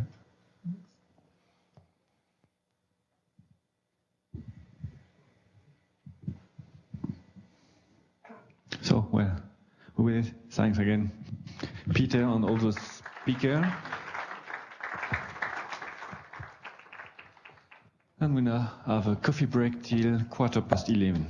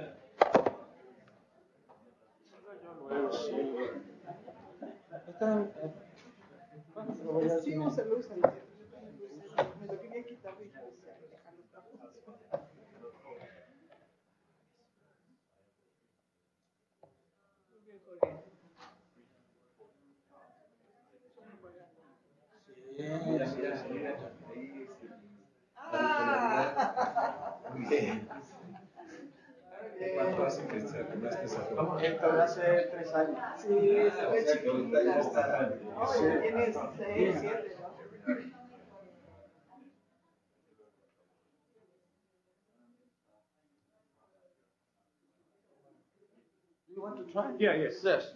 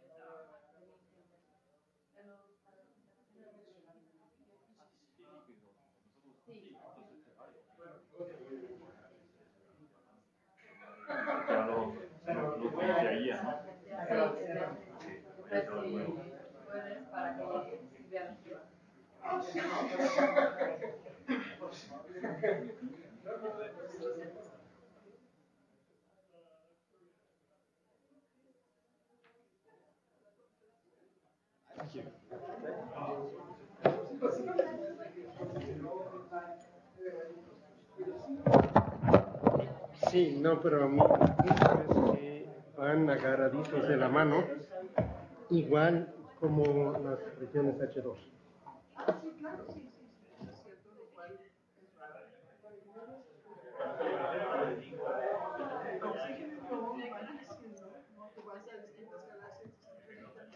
Sí, el próximo. Se va.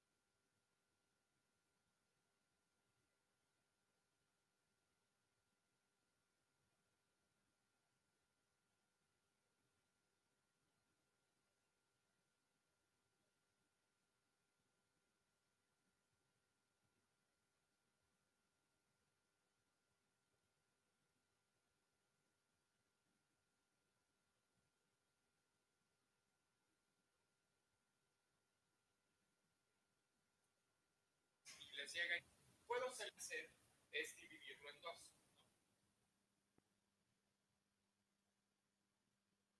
Porque sola. Entonces,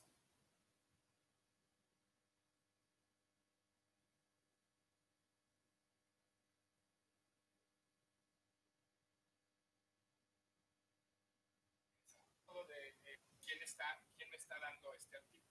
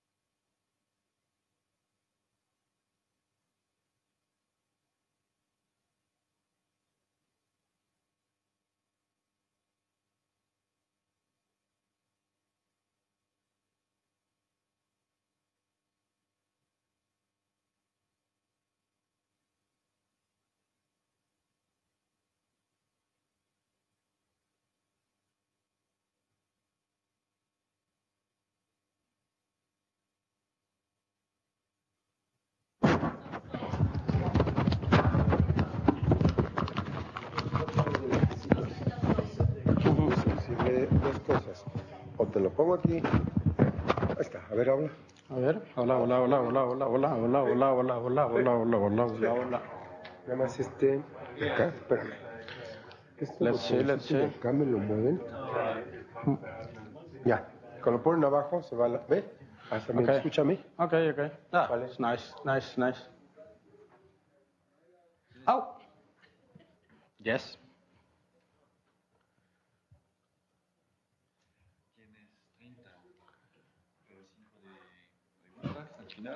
Sí. Voy a aprovechar. Voy a aprovechar algo de sí. Vale, perfecto. Bien. Ujú.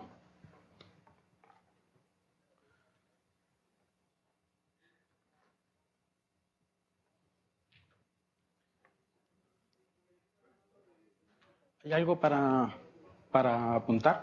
Ah, la serie. Ah, ok, perfecto.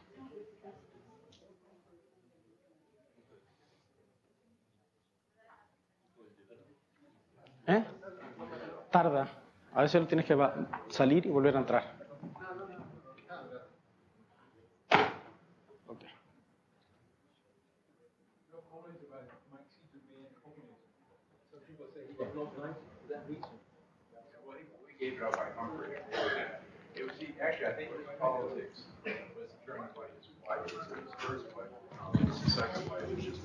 Yeah, Joy. Yeah, so she, so he, his, just like Ronald Reagan, his politics went with his wife. So that, it, it was a similar situation with, with George Maynard Smith, his famous colleague. Well, welcome back to this second session of this morning. Uh, and the first speaker is Jorge Garcia Rojas, que nos va. Uh, oh, sorry, I'm. okay. Uh, Jorge, el mismo nombre, but uh, that will speak in, in, in English uh, about the uh, uh, link between high uh, abundance discrepancy factors uh, in planetary nebulae and close uh, binary stars. Okay. Uh, I want to thank the organizers for letting me uh, give this talk in, here in this auditorium. This is the, the fifth time I gave a talk here, but this is my first one in, in, in English. So I'm going to present uh, my work uh, relating to high uh, ADF planetary nebula and close binary stars. These are my collaborators. The team is very serious people, as you can see. Romano Corradi, uh, which is expert in photoionizing nebulae, also in binary stars. These two guys are the binary guys at the IAC. Hector Monteiro from Brazil, that helped uh, help us a lot with uh, IFU observations. Henry Boffin and Roger Wesson of uh, ESO. Okay, Roger Wesson is this guy, not the other one. okay, I want to also thank Manuel for his introductory talk because, well, he, he explained a lot of things about uh, this problem of the abundance discrepancy.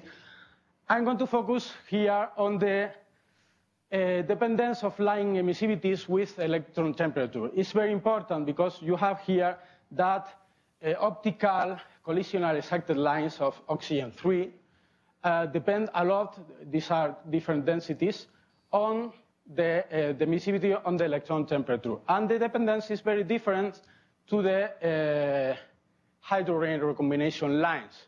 Abundances are computed relative to hydrogen in uh, photoionizing nebulae. On the other hand, infrared collisional excited lines have a very different uh, dependence with electron temperature, and optical recombination and oxygen have a very similar dependence of uh, uh, with temperature with hydrogen. This makes, uh, well, this, the well-known problem of the um, abundance discrepancy is that the abundance obtained, uh, compute from optical recombination lines are always higher than those computed for collisional excited lines. This is the picture. Uh, you have the ion, the twice ionized ion, and if you see the optical recombination lines, you, you see one thing, and if you uh, look the collisional excited lines, you see another thing. But in principle, it's the same nebula. So uh, the ADF is defined uh, like that. Uh, Manuel explained it. This is a definition by Xiaowei Liu. And there are the proposed mechanisms to explain this abundance discrepancy are mainly three. The temperature fluctuations, Manuel gave a beautiful talk about this. The kappa distribution of thermal electrons, uh, well, most of several uh, mm, talks in, in this meeting have discarded this, and the chemical uh, presence, the presence of chemical inhomogeneities. Okay, the point is that, well, in photoionizing nebulae, we have the planetary nebulae and the H2 regions. Planetary nebulae have abundance uh, discrepancies that can range up to a factor of 120 if you uh, um, compute the, the general, the global light of, uh, coming from a planetary nebula. And in some cases, uh, special cases of particular nodes in planetary nebula, you can reach abundance discrepancies of 700. This is huge. In H2 regions, the abundance discrepancies are more or less constant between a factor uh, 1 and, and 4. So if you try to do a chemically homogeneous photoionization model, uh, it's impossible to reproduce the temperature fluctuations uh, needed to explain these huge uh, abundance discrepancy uh, factors. Even the moderate is difficult, but huge is impossible. So we discard, for this large ADF uh, planetary nebula, we discard temperature fluctuations and kappa distribution, and we focus on the chemical inhomogeneities.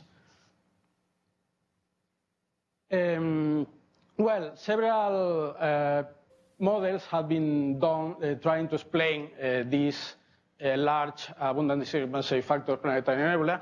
None of them ha has been done using CLAUDIS, sorry, Gary. Uh, Daniel Pequignot tried with uh, the Nebu code a model of NGC 6153, and uh, Yuan and collaborators using MOCASSIN uh, made a 3D photoionization model. both find more or less the same issue, include two components, one H-rich and one H-poor. With this, uh, well, the, the H-poor component is very low, uh, low mass component, and is uh, very cold, much uh, more denser than the H-rich component, and the abundance, the relative abundance to, uh, uh, of metals to hydrogen are very, very high, much higher than the H-rich component. This is, uh, so uh, they could explain with this more or less uh, reasonably well the observed spectra of recombination lines and collisional excited lines. Well, I'm going to focus now on, on, the main topic of this talk. Well, you know the planetary nebula have a lot of uh, shapes. Uh, they are not rounded, uh, as was uh, in principle uh, thought several years ago. Uh, they have a huge range of forms, elliptical, point symmetric, hourglass. This cannot be explained with a classical explanation of shaping planetary nebula but you have to invoke magnetic fields, uh, the presence of giant planets, or the presence of a binary central star. These binary central stars have been, uh, the, the, number of binary, confirmed binary central stars in planetary nebula have been increasing in the last years until right now we have uh more than 90 uh, binary central stars confirmed in planetary nebula. You, have, you can check the list in the web uh, page of one of my collaborators, Dave Jones. It's drdjones.net. Um, and here we have a beautiful plot made by another of my collaborators, Roger Wesson, in which uh, he plots the, well, all the planetary nebula and its regions with measure uh, ADF these regions are the red ones, and the planetary nebula are the green one. And the blue ones are planetary nebula with confirmed uh, central, uh, binary central star. You see that they are uh, here in the range of large ADF. These other three planetary nebula are proposed to have a close binary star in the, in the center. And this one is the outlier, of course. You have to be to have an outlier. An outlier. This is NGC uh, 5189. Okay, the largest ADF ever measured were in the H-poor nodes in Abell 30 and Abell 58. These are two born again planetary nebula. The born again planetary nebula are uh, planetary nebula that have experienced a very late, in principle, as uh, supposed to be uh, planetary nebula have experienced a very late thermal pulse. Uh, Peter Van, Van Hoof explained what is a very late thermal pulse. Well, in principle, you have, after the ejection of the planetary nebula, you have a, a, a helium uh, pulse, thermal pulse, that burns all the hydrogen and eject a new, uh, a new uh, H-poor envelope. So in this planetary nebula, they, uh, Roger found uh, ADF of 700 in Abell 30 and 90 in Abell 58. In 2006, Xiaowei Liu studied this uh, other planetary nebula, HF22, and found in the integrated spectra of the planetary nebula the planetary nebula, uh, they uh, found the largest ADF ever measured for an integrated spectra of a planetary nebula. It was about uh, 70. Well, the point is that the central star of this planetary nebula uh, was a, a, binary star, a close binary star. In principle, this uh, close binary star uh, have they, it was thought that uh, uh, the nebula maybe was formed in a common envelope event because the uh, ionizing mass they measured was much lower than the typical mass of a planetary nebula ejection. And what is a common envelope event? Well, this is mainly for, for students. I'm not the expert on, on that, so I'm going to read it. This is a short-lived phase. The primary star, this one, evolves and grows size, filling this lobe uh, Roche. There is a lobe Roche overflow and start uh, the, then starts the mass transfer from the primary to the secondary. The secondary cannot account for such large mass transfer, and all the material fills also the Roche lobe of the secondary. So it creates a common envelope. So both stars are in a, in a common envelope. Um, owing to the drag forces, both objects lose, uh, lose energy and uh, become the orbit, the orbit becomes closer. And due to the loss of orbital energy, there is a, a, the envelope heat up and expand, and expand. So eventually, this envelope is expelled into space. Well, following this, uh, Romano Corradi was studying, uh, trying to find uh, a central star in planetary nebula, and with a, a 10 meter, a 10 meter telescope, the GTC, and a 10 minute uh, spectra, he uh, he was looking the, the well, he was studying the central star. He, he found that there, there was also a binary central star, and they took a spectra to, to, to study the chemistry of the nebula, and they found this, these two features, very strong features, almost typical uh, the strength similar to the aurora line of oxygen. And he contacted me and told me, what is this? And I told him, oh, I know what the stat. There are recombination lines. This is a carbon recombination line. This is a blend of several recombination oxygen two lines and other things. We need to, to, to take uh, a spectra with uh, better res spectral resolution. And we did it we uh, select three. Uh, the, this uh, planetary nebula was 05. It was of the IFAS catalog. And we took another two with known uh, post-common envelope binary central stars. And we took a spectra with the William Herschel telescope, a 4.2 uh, meter telescope, and we found, oh, very, very, very bright carbon 2 and oxygen 2 recombination lines. And we made all the, all the chemical analysis and we found ADF of 120 on uh, 46 and 56 on O5. Also, uh, Abell 36, the ADF was not uh, so large, but it was mm, larger than the typical ADF in planetary nebula. So we also measuring uh, Abell 46 and O5 uh, the temperature from considering uh, optical recombination lines diagnostics, and we found that the temperature using these the diagnostics was colder than using the typical collisional excited line di diagnostics. So, in principle, it seems that the recombination lines comes from a colder gas.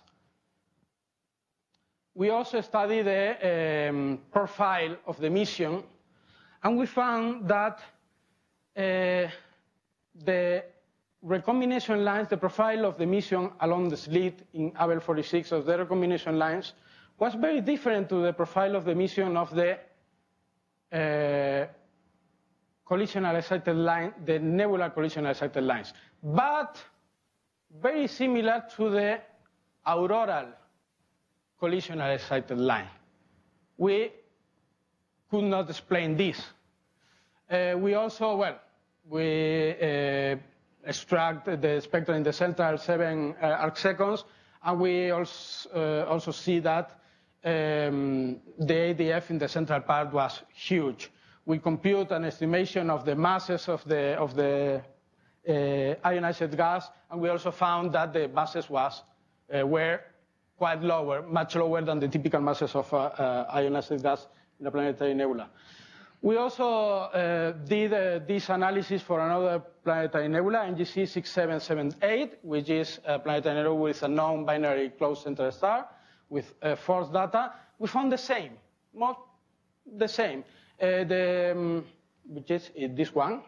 The profile of the recombination lines is very similar to the auroral collisional excited line, but different of the nebular uh, collisional excited line. And the ADF peaks in the central parts of the nebula.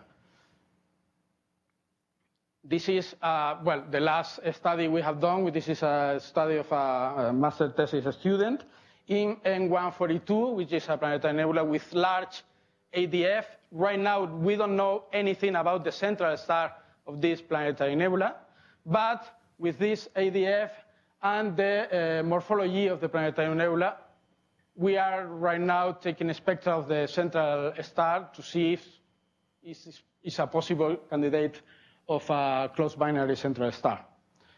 Well, and what we see, what we did to check this, well, we see that the central, uh, the emission of the oxy uh, recombination lines peaks in all the planetary nebula where we measure, peaks in the central part. So we decided to take the first image, direct image of the emission, the recombination line emission in a planetary nebula using the tunable filter in, uh, with the instrument OSIRIS at the Gran Telescopio Canarias.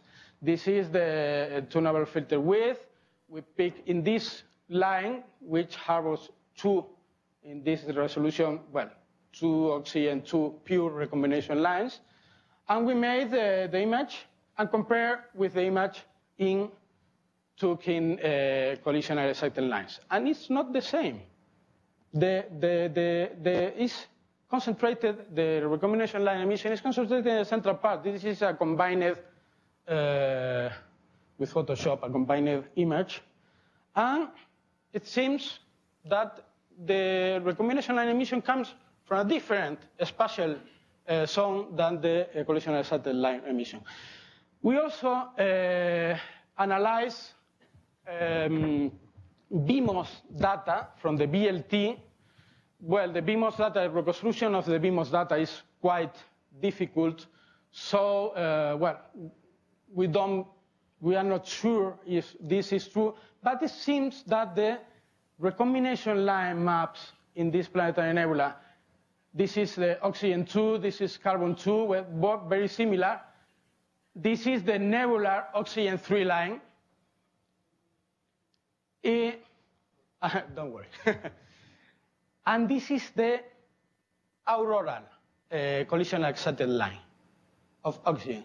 It's similar to this. It's not exactly the same, but it's more similar than this.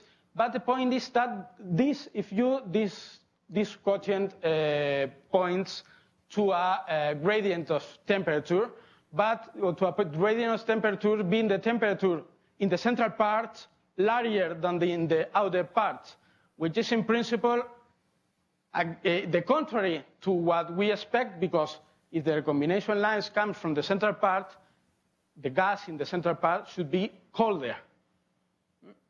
So this is an issue we, we uh, are still uh, discussing. So, well, the possible origins of this H-poor component are compiled in uh, Corradi García-Rojas et al. Uh, the very late thermal pulse scenario is one of them. It, it, this scenario does not need uh, a, a, binary central star, but needs that the uh, ejecta, the, gas, the abundance in the gas uh, need to be uh, carbon rich. You have to be a very high carbon rich um, gas. The other one is uh, the presence, uh, the, the, solid body sublimation in the AGB phase. This is a nice paper by Will Henney and Grażyna Stasińska. Uh, well, mm, it, in principle, it doesn't need also uh, a binary central star, but needs a large comet population in the, in the, in the, um, in the system. Uh, but the, the other two needs a binary central star. This is a nova-like burst needs a binary system, it's okay.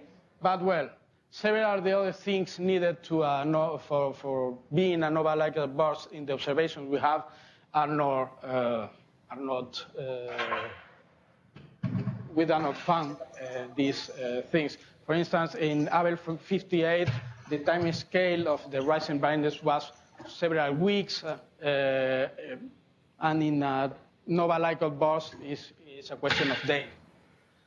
And the final, well, there is a proposal of Lau, De Marco, and Liu that maybe the combination of both scenarios, VLTP and Nova-like, is possible for the, uh, to explain the Abell uh, 58 knots abundances.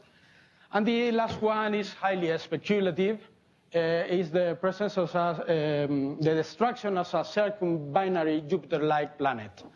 This is a, well, a scenario proposed by Bear and Soker, it's, well, they say that the, the mm, orbit decider is ruptured. Uh, there is a collision of the planet with a post-AGB star that produce a new common envelope ejection episode, and the planet ejects first the H-rich envelope and then the H-poor core. I'm not sure about that because it was a paper mm, about other things, and in one point they made this uh, speculation. Uh, well, the point is that that's not all. We have uh, two additional spectra of planetary nebula with known uh, post-common envelope central binary stars. And we have found, this is a paper uh, led by Deb Jones and Roger Wesson, which is in preparation, with FORS 2 data.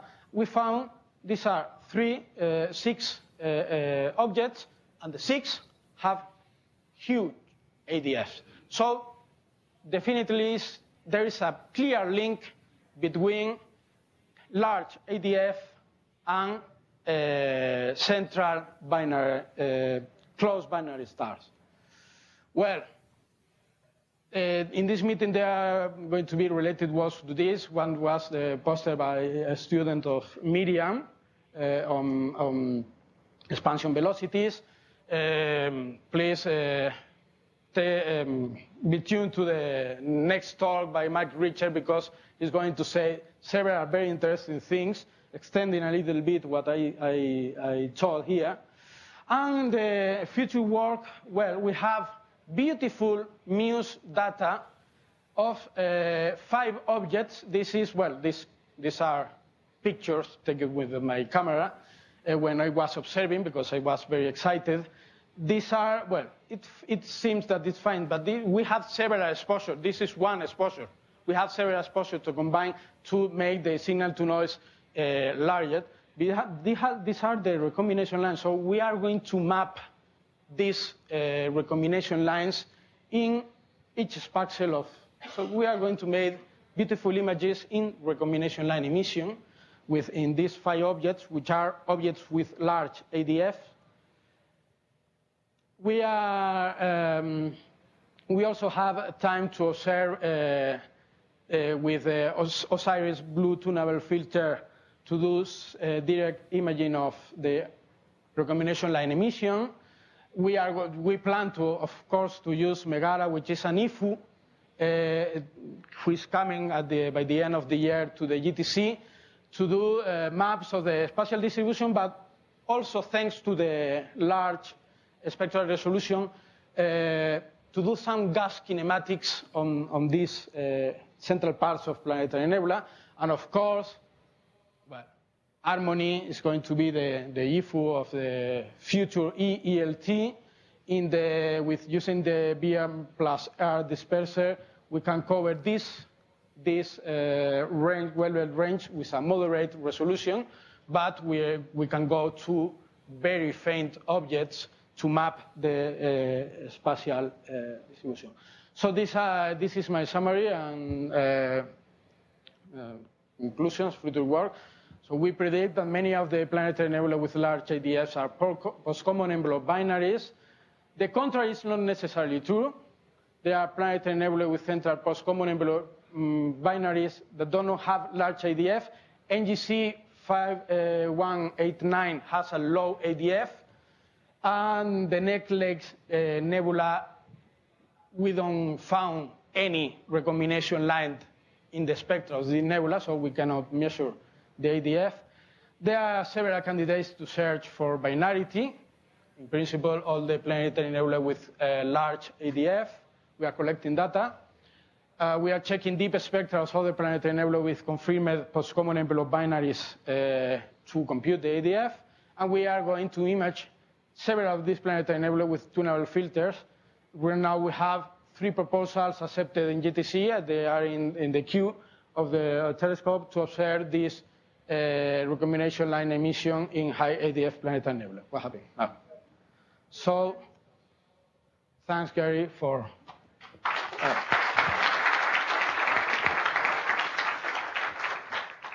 Thanks a lot, Jorge, for these impressive results. Will? Okay. So, empirically, you clearly have established the relation between binarity and the ADF phenomenon, but what's the physical cause of this as someone that doesn't know? I mean, what's going on? We don't know. Don't know. Don't know anything. I know, I'm not so, well. I mean, presenting this result, uh, these uh, people expecting post-common envelope, uh, uh, binary central stars, because even our experts in binary stars don't know, they are not sure what, what can be the region of this. Well, thanks. Maybe Will. Okay, um, those are beautiful results. Okay, um, I have a couple of comments. One, um, qualitatively, the difference in spatial distribution you find between the recombination, optical recombination lines and the collisional lines is in the same sense as you also see in the more moderate ADF uh, uh, nebulae, such as the Ring Nebula, in the, the sense that the the, mm. the, the ORLs are inside, mm-hmm. and also and given that but the it's, it's larger. Yeah, yes, obviously the yeah, the, yeah. the effect is much larger in your Yeah. cases, and also the fact that the 4363 also peaks inside, implying higher temperatures inside than outside. Applying Occam's razor, that makes you think, well, is it possible that the, the recombination lines have a high temperature dielectronic recombination component? That, No? Yes. I mean, is, is, the question is more for the atomic physicists. Is, it, is that at all possible? We could have missed that? Maybe, of course.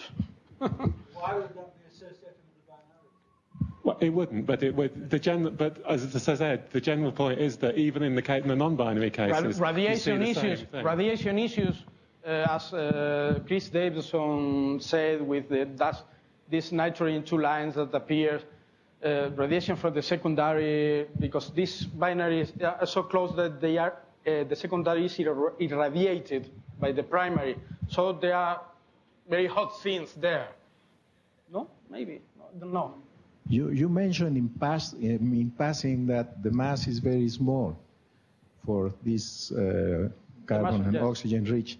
I think it's very important to try to figure out what's the total mass that they are injecting to the galaxy to see if these sources are important for chemical evolution models of the galaxy. It seems that the mass is very small, but uh, it's important to, to, to see what's the yield for the This is the, ma- the mass of hydrogen, ionized hydrogen. Yeah, I know, I know.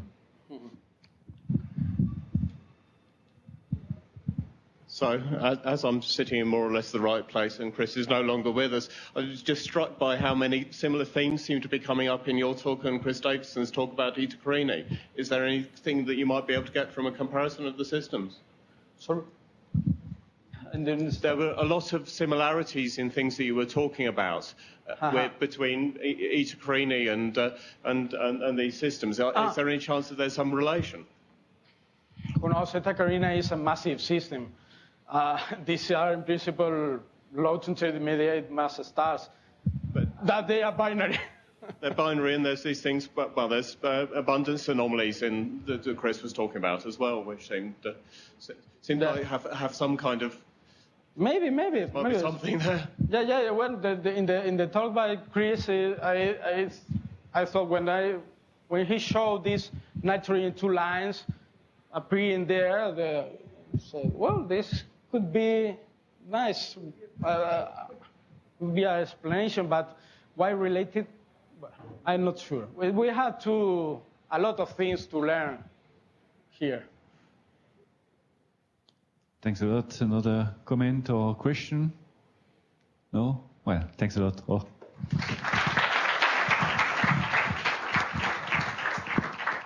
My daughter.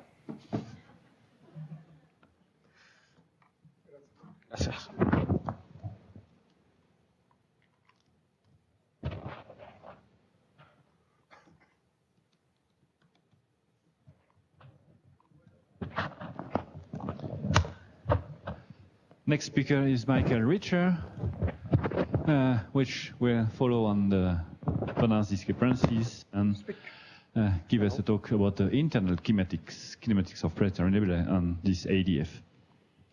Okay, I'd like to thank the organizers for giving me the opportunity to present this work. It's basically two projects that I've done with this group of collaborators that's shown here on the first page. I'd also like to thank Manuel and Jorge for basically covering pretty much all of my introduction. Um, so we can get on to other things. There were three papers, though, in the poster sessions. I know they're not up there anymore, but I hope you had a chance to look at some of them um, because they are all relevant for this topic. Okay, um, I think the only thing that hasn't been said by Manuel and Jorge is that emission lines are used to measure heavy element abundances throughout the universe, but I think most of us already knew that. Um, this has been covered, that has been covered, that has been covered. This has been covered, except I'll just add a few more options to the list of um, possible explanations to the ADF, including one we heard about a couple of days ago. Um, so, um, most of this work has been done with low resolution spectroscopy. Um, now, what I'm proposing to do is use high resolution spectroscopy because inherent to the abundance calculations is the assumption that the permitted and collisionally excited lines come from the same volume or the same plasma. Um, and this can be tested with kinematics, but that requires high resolution spectroscopy. So basically what we're going to look at is, are the kinematics of the permitted and collisionally excited lines the same? If they're not, we may be able to identify distinct plasma components for the two mechanisms. Um, so there's been a lot of talk on a number of things, but not on the internal kinematics of planetary nebulae. So I'll go over that quickly. Um, the internal kinetic, well, basically the first order, a planetary nebula is a shell of swept up gas, which is the interaction between two winds. And the first wind is emitted by the precursor star when it's in its AGB phase. This is a slow, dense wind. And during the planetary nebula phase, the central star emits a much more tenuous, faster wind. So basically, this sweeps up a shell of gas out here, and that's what we see as a planetary nebula.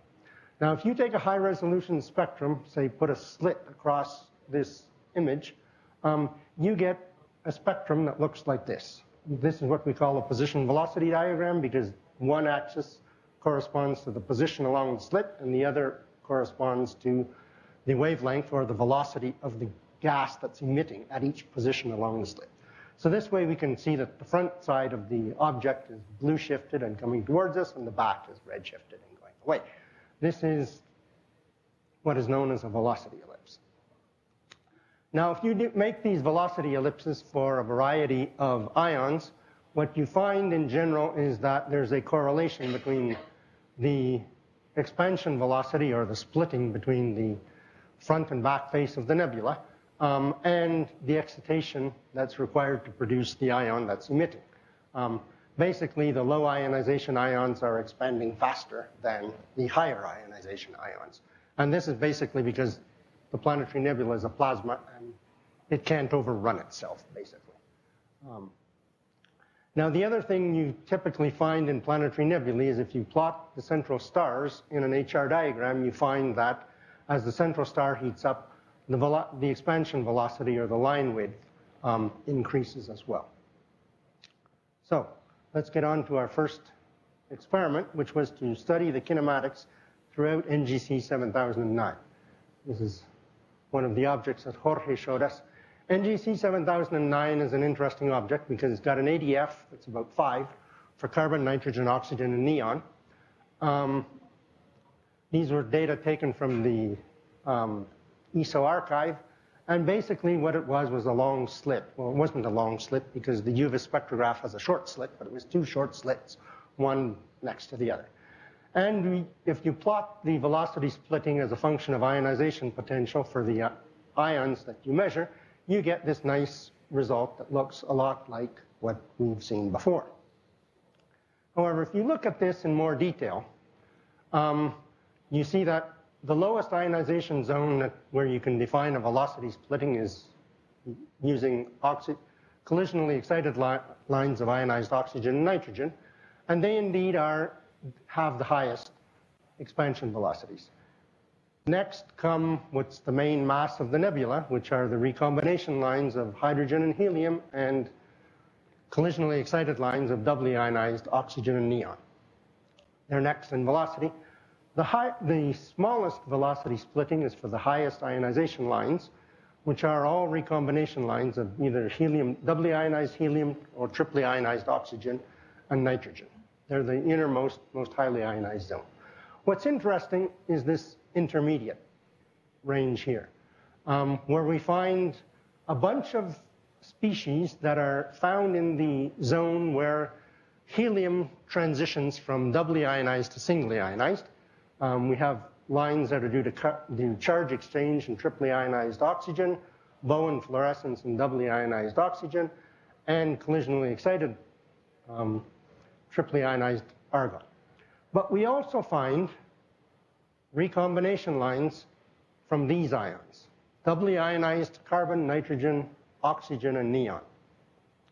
And what's curious here is that at least doubly ionized oxygen and neon are also up here. Um, these really should coincide, and they don't.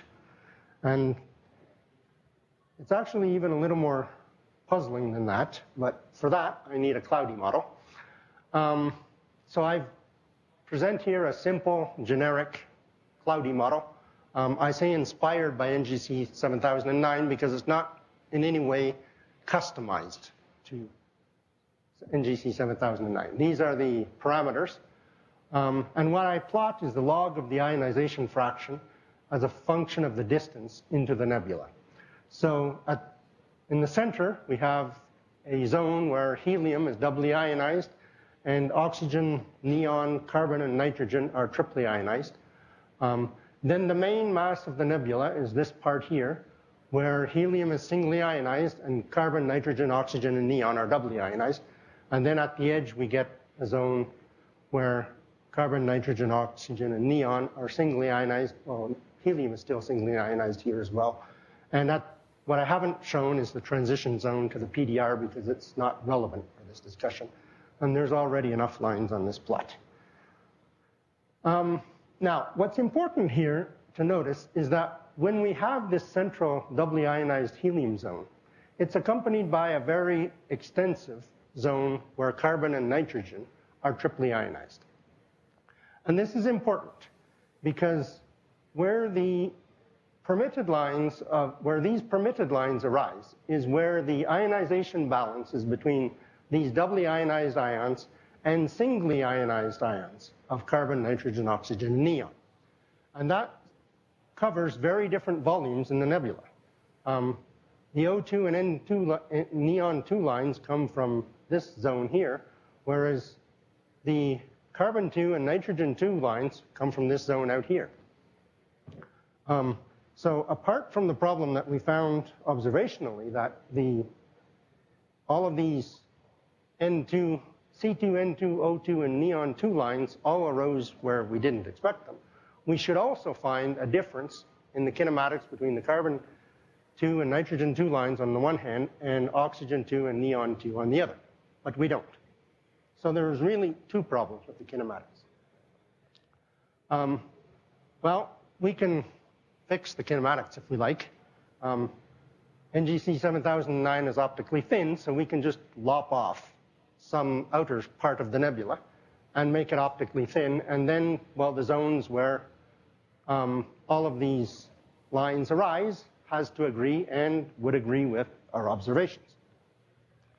On the other hand, if we do that, um, we're also cutting off the volume where most of the carbon-2 and nitrogen-2 emission is expected to arise.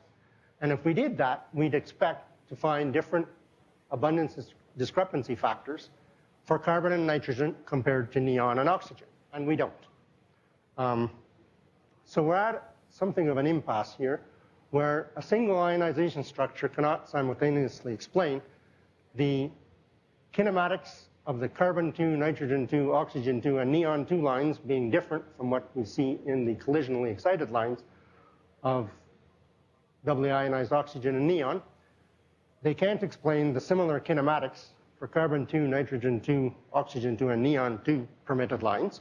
Um, and they can't explain, well, simultaneously, the same ADFs that we see for these four species.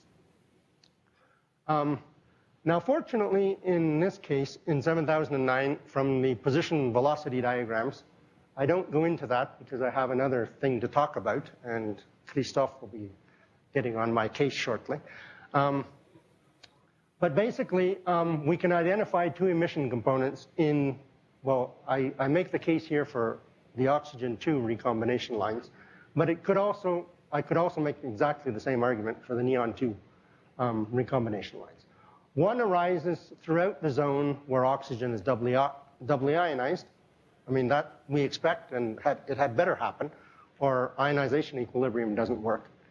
Um, but the other arises in the innermost part of the zone where oxygen is doubly ionized.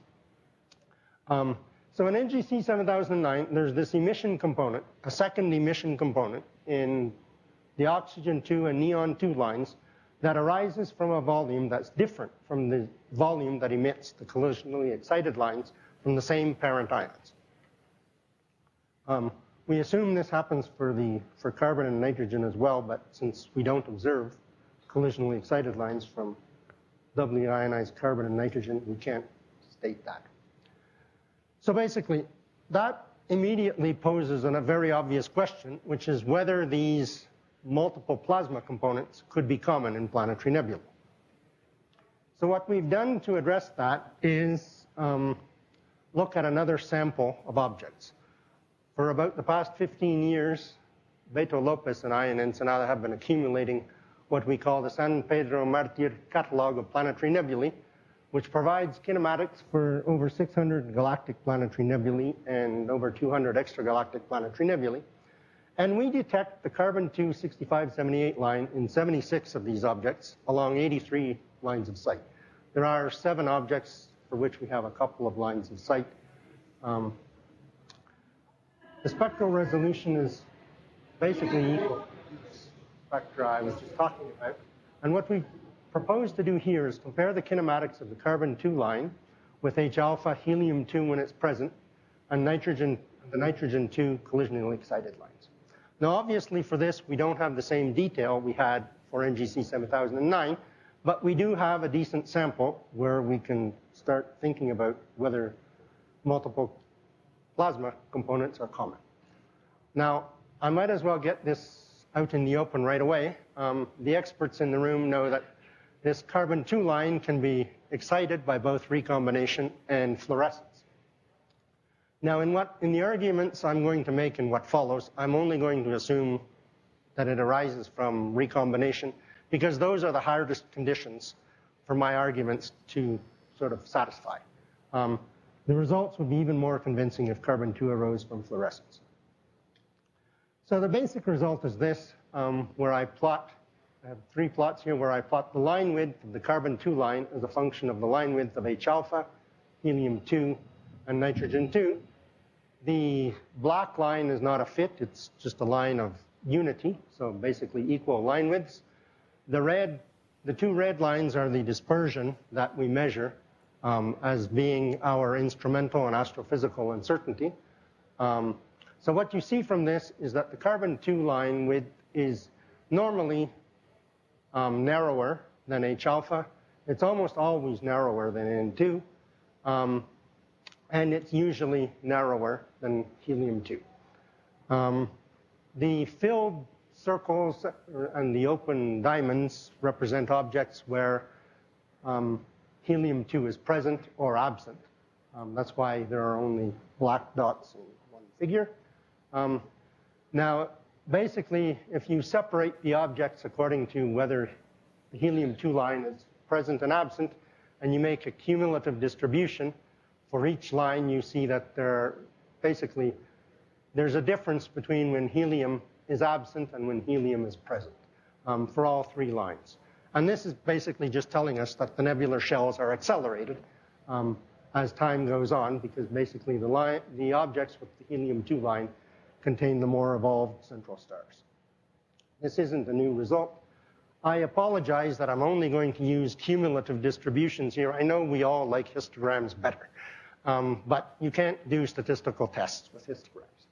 Um, so, or at least it's easier to do them with cumulative distributions. So anyhow, to account for this evolution, what we do is we measure a relative line width. We measure the line width and subtract the line width in H alpha. Um, and we're assuming that this takes care of the evolutionary issues. So what we have now is the relative line widths of these lines, helium, carbon, and nitrogen from our study. I'll talk about oxygen 3 at the end, and basically we have the cumulative fraction. So basically this is the distribution. Um, and what we see is that the helium, which is in purple, is the narrowest. Nitrogen 2, which is in green, is the widest. And carbon 2, well, we would have expected it to be somewhere in between, but it's kind of like helium 2. What's important to note here is that when, um, if you compare, say, the carbon um, cumulative distribution when helium is absent and when it's present, um, you see no statistical difference. I mean, you can apply statistical tests to this and there's no difference. Um, the same is true of, of, nitrogen. The oxygen is shown for comparison. It's from another study. Um, but the oxygen line width distribution um, is very, very similar to that for H alpha. So um, that's what more or less hydrogen is doing. Um, so we briefly return to our cloudy diagrams. Here are two models that are exact the same parameters as before except I've changed the central stars to two black bodies. And basically what you see is when you go from cool stars to hotter stars, you get this helium-2 emission zone, or doubly ionized helium zone. That doesn't really affect where the oxygen or nitrogen comes from very much, but it does have a very important effect on where the carbon-2 emission comes from. Um, when helium-2 is present, the carbon-2 emission zone is pushed to the edge of the nebula. And we should, I mean, that will make a big difference in the line widths because, I mean, the, here is where you get small line widths. This is where you get large line widths. Um, and so basically, if carbon 2 gets shoved out here, we expect the line width distributions to change. So we can ask ourselves, do observations match theory? Well, the helium-2 line should have the smallest line width, and it does. Um, nitrogen-2 should be largest, and it is. Um, oxygen-3 should have a line width similar to, to H-alpha, and it does. You see that most of the, most of the action happens near zero. Um, and the line widths of oxygen-3 and nitrogen-2 shouldn't depend on whether helium-2 is present or absent, and it doesn't. Um, so all of this agrees with theory. Um, now, the carbon-2 lines are where things get complicated. Carbon-2 should have a line width distribution um, that's similar to oxygen-3 and H-alpha when helium-2 is absent. So we have helium-2 absent here. So these two should be similar, and they're not. They're statistically different. Um, and when I say statistically different, there's less than a 2% probability that they arise at random from the same parent population. Um, and when helium-2 is present, the line width distribution for carbon-2 should be similar to that for nitrogen-2, and it's not. Um, so carbon-2 is consistently um, anomalous in the sense that it, uh, it, basically the line width distribution, the line widths are smaller than you would expect. That implies that it comes, it's at least mimicking gas or plasma that's more internal in the nebula than you would expect for carbon, for doubly ionized carbon ions. Um, so basically, well, I just said that. Um, so the kinematics of the carbon-2 line are not those expected if it arises in a, chemi in a chemically homogeneous nebular plasma. And basically, this is given the example of 7009, which is also in the second sample, um, implies that multiple plasma components could be common in planetary nebulae. Um, now, we can look at this another way and say, well, what of the, which of the solutions that have been proposed for the ADF could, could be compatible with our observations? Um, well, this idea of metal-rich clumps is compatible. Unfortunately, it's unknown how they arise, which might sound very convenient for explaining things, but from a physical point of view, it's almost always unhelpful. Um, then physical processes that affect recombination throughout the normal nebular plasma in the zone where carbon, nitrogen, oxygen, and neon are doubly ionized, these should not generate the kinematics we observe. Um, on the other hand, the kinematics we observe don't exclude that these things also happen, and I mean, undoubtedly some part of this does happen. Um, so there's obviously still a lot of work to do. Um, now, a few previous studies have found similar results. Mike Barlow published some results in an IAU symposium back in 2006 that showed, show similar results. Otsuka um, showed that this also happens in one object, at least for the oxygen 2 lines. Um, there are, and basically Jorge um, and Will, with his comment, mentioned that the studies of spatial distributions of permitted lines, I mean, there are observations going back to the 1980s that show that permitted lines are more centrally concentrated than collisionally excited lines in the same parent ions. Our results are entirely compatible with that. On the other hand, if there are multiple plasma components, this abundance discrepancy problem could take on another sort of facet. Um, until now, the debate has been on which abundance is correct, um, or largely it's been about that. And it's possible that both are correct. I mean, if there are two plasma components, maybe both are correct. Um, why they would have different chemical compositions presumably depends upon their origin. Um, so my overall conclusions are that the kinematics of permitted lines imply that these multiple plasma components could be common in planetary nebulae. This might explain the abundance discrepancies in planetary nebulae in the sense that if the different plasma components have different compositions, this doesn't really help us much in explaining things because re really we've only moved the problem to another sort of another position, shall we say, or another, we've just pushed the problem a little along.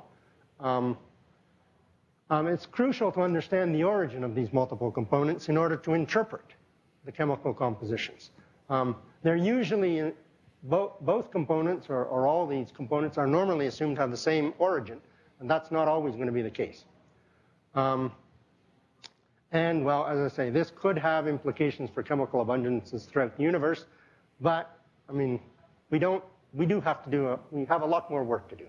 Um, and I mean, some of these studies are already in progress. So I'll stop there.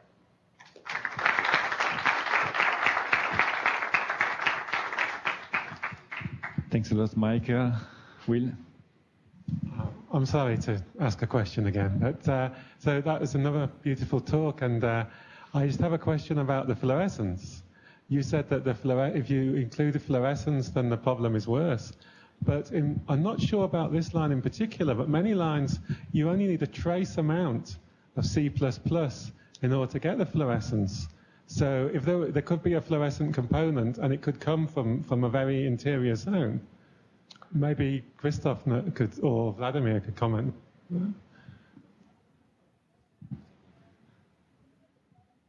Christophe, do you want to comment first?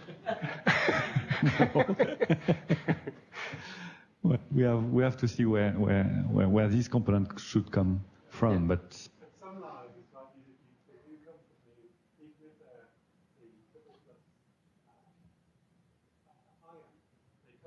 Sorry, uh, that for some fluorescent lines, even from the double plus ion, they really come from the triple plus region because amount of Yeah. I mean, the reason for that is the UV lines that are driving the pumping. Once they get to optical depth unity, they don't pump anymore. Yeah. it's only in the linear part of the curve of growth that they're effective pumping. So it's just that they, they become self-quenching. If I could change the subject, uh, if you've I, there's a big mystery when we were doing Don's book. If you describe the velocity field of all Pn, I made the mistake of calling it a Hubble flow, but it looks like V proportional to R. Uh, Osterbrock uh, refused to use the word Hubble flow because he, he and Hubble had some issues, but uh, it looks like it's a V proportional R flow. And if I and then so I went off and I read every paper on the formation of planetary nebulous shells to see how you can get a V proportional to R velocity field. And not a single paper, including the, the Big N Review article 15 years ago, mentions the velocity field. Back in the 1950s, they were invoking some kind of explosive release of, of recombination energy in the, in the red giant to, to get the thing to blow up. And that, that it looked like they were closer to the game in the 1950s than the current hydrodynamical model. So you have any idea whether dynamicists can get a V proportional to R law out of what they're doing? Well, yeah, Will, Will can answer that. Basically, it does tend to increase, but it's not necessarily. I, I, I think you're, you're, right in the sense, but the um, older planetary nebulae certainly have only the Hubble flow, right? But the younger planetary nebulae with the double rim structure, the inner rim is often higher velocity than the, than the outer material. Um, and I think the, the models of Kimeswenger et al. do, do reproduce that. Um, but maybe that's for later discussion. Okay. Um, ba basically, what, getting back to Will's question about fluorescence, what pumps the, this carbon-2 line is emission from radiation from helium, ionized helium. So it would come from this, this zone. I mean, that could conceivably help bring in the carbon-2 emission here. Um, but then, I mean, you would still expect a strong recombination component at some point, um, which, I mean, basically what drives the line width primarily is where this, where the zone stops, um, because that's the highest velocity. Um, so you would, you would still expect to get this recombination emission. Um, to define largely your the, the sort of line width. Um, so basi basically that, I mean, if you don't get fluorescence from in here, it comes from out here, which makes the problem worse. Um, right?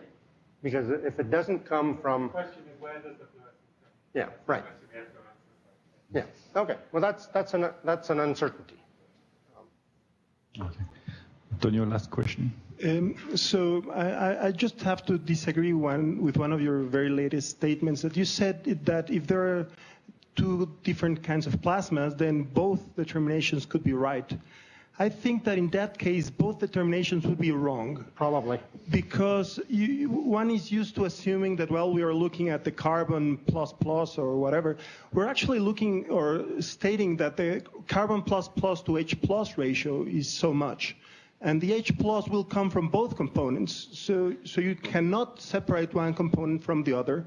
And until you can do that, then both determinations are wrong. I agree. Okay. But you have to know where they come from. Um,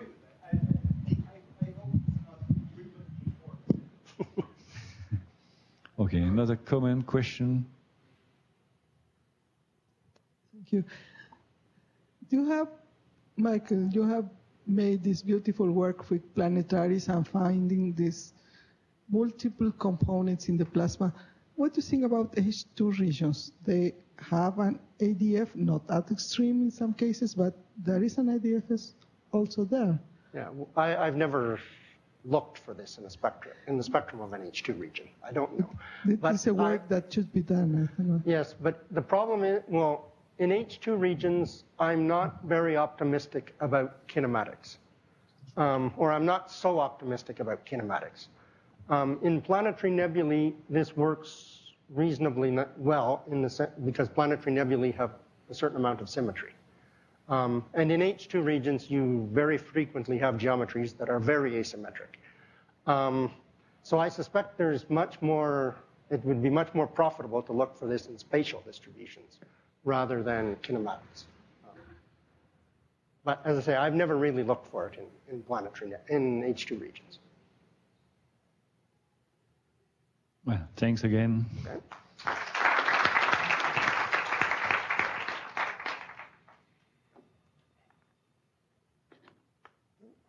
Our next and last speaker for this morning session is Masaki Otsuka that will uh, give us a talk on the diffusion model of some galactic planetary nebulae.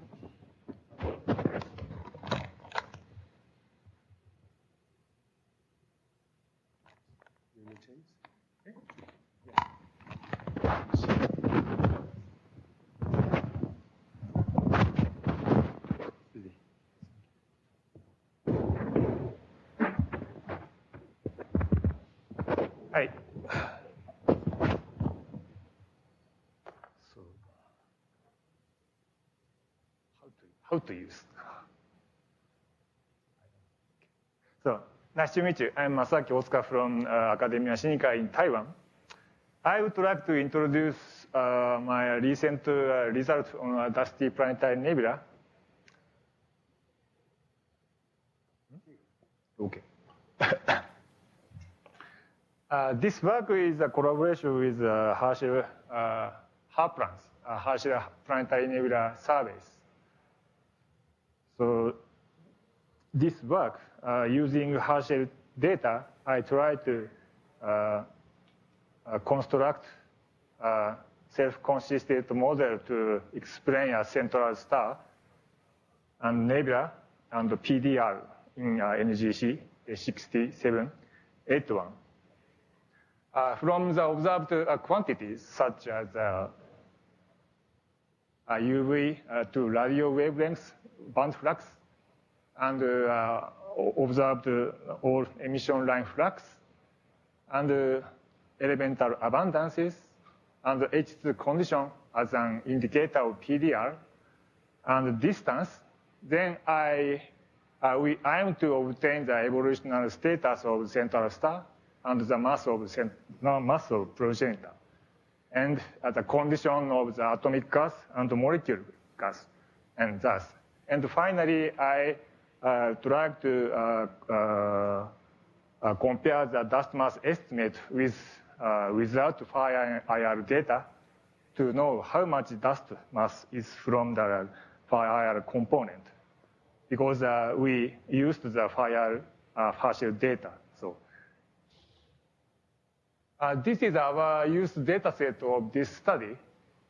The photometry is from the in, in GALEX in UV, optical, ISO, and NIR is a UCAT, JHK, and the mid-IR is a WISE, uh, Spitzer, ISO. And the far, IR is uh, our own uh, data and radio. Uh, in uh, in the, this photometry, uh, we measure the you know, 223 uh, photometry band in total. While spectra, the unfortunately, we, uh, we can't find out the UV spectra, so we, we can't estimate the uh, carbon, uh, uh, carbon abundances using the collisional excitation rise. So in this talk, we, we don't discuss ADF. So, and in optical, the, we obtain the William Herschel telescope optical spe spectra, and IR and no data, and uh, mid-IR is Spitzer and Herschel. Uh, this is a Herschel spectra. Uh, gray uh, line is uh, from uh, rim positions here, and the thick line is uh, uh, central positions. I found uh, I indicate the location uh, position of uh, OH plus and the CO uh, molecular lines here.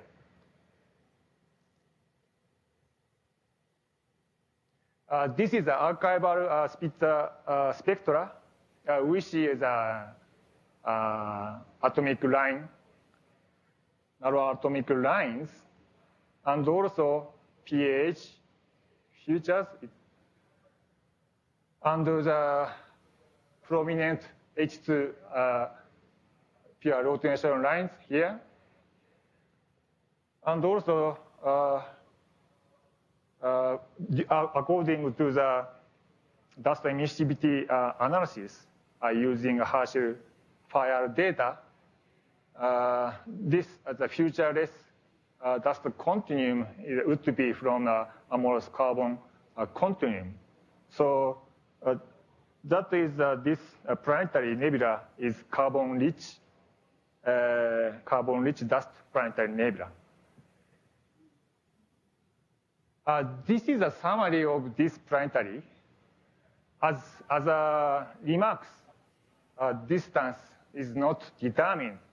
So distance is very important factor to estimate uh, dust mass and gas mass and uh, molecular gas mass. Yes. So we try to uh, determine the distance by our our uh, techniques. And this object is a very old, uh, 10,000 years after AGB phase.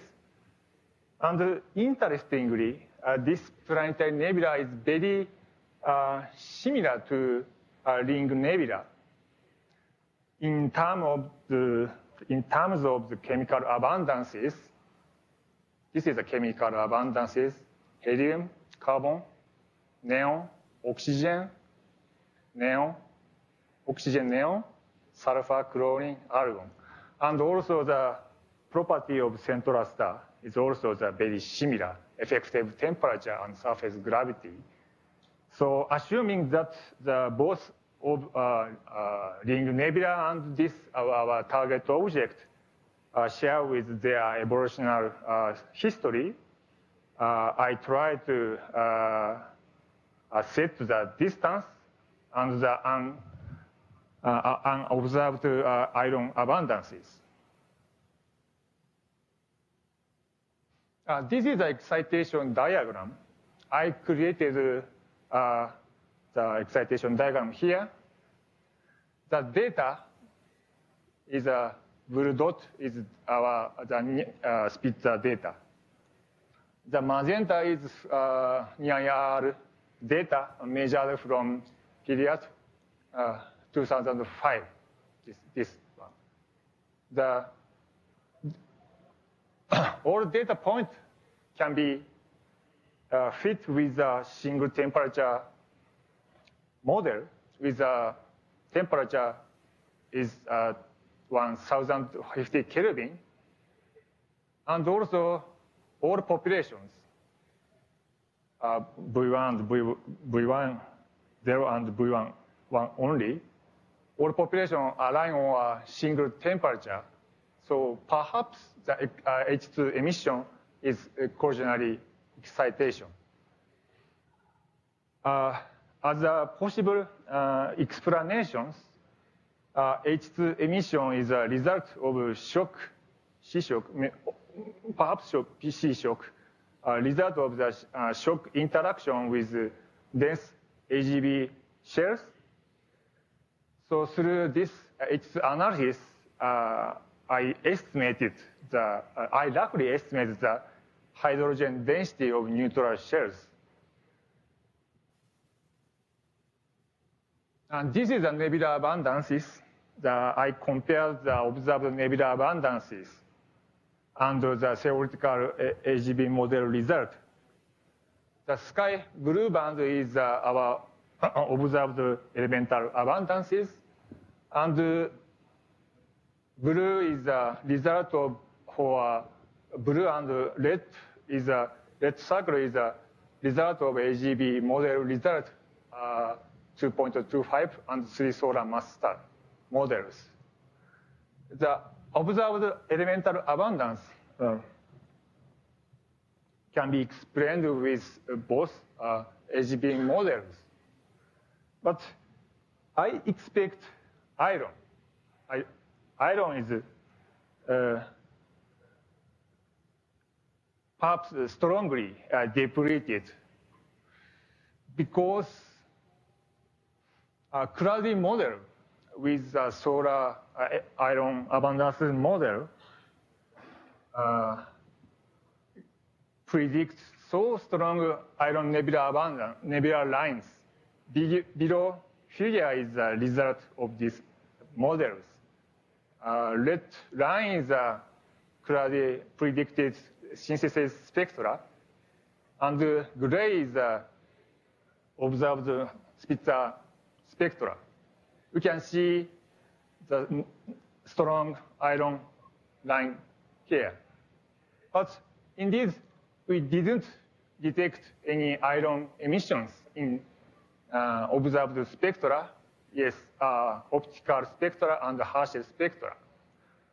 And iron is very important coolant. So I need to set an accurate uh, iron abundances. Then this PN uh, is very similar to ring nebula. So I adapted the iron abundance of ring nebula. the important preparation is to determine the distance. I assume that uh, this object uh, uh, is evolved from uh, 2.25 solar mass, 2.25 to 3 solar mass stars, and also this planetary nebula is uh, similar to ring nebula. And likewise, the ring nebula this object is still in a cooling track. So I scale the flux density of synthesis spectra to match the observed uh, uh, flux density. And then uh, I uh, simply, uh, by simply integrate the flux density, and then I obtain the uh, luminosity function, uh, luminosity function as a distance and effective temperature. And uh, then I compared the theoretical uh, post-AGB track, and then I obtain the distance is for 460 parsec, and also the, the, the range of uh, the luminosity and effective temperature. Yeah. This is my uh, model approach as fitting constraint, I use the 18 Phi flux density and 65 line flux and 35 band flux. And uh, ionization band radius is uh, 55 uh, arc second, estimated by optical nitro uh, nitrogen 2 lines. And nebula abundance is I adapted the calculated elemental abundance plus minus 3 sigma, and also uh, for the unobserved elemental abundances, I adapted the result of, of uh, Karakas 2010. And the isotope ratio is uh, 20, is from the Batchelor et al. to 1997. For a central star, I used uh, Rauch's uh, theoretical stellar atmosphere.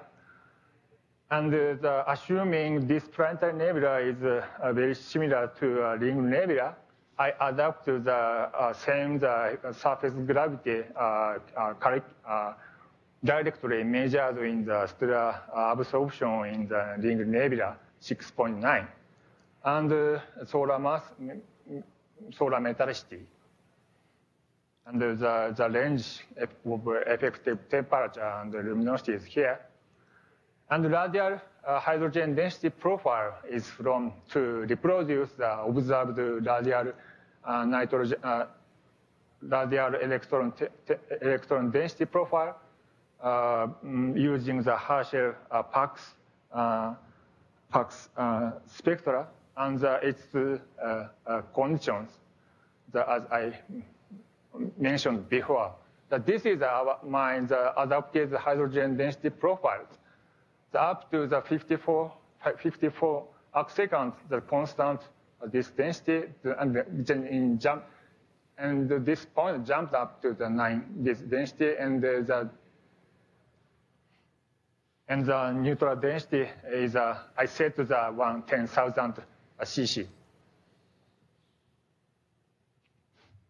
And also the, uh, I adapted the higher uh, cosmic ray background and reference to early et al. 2001.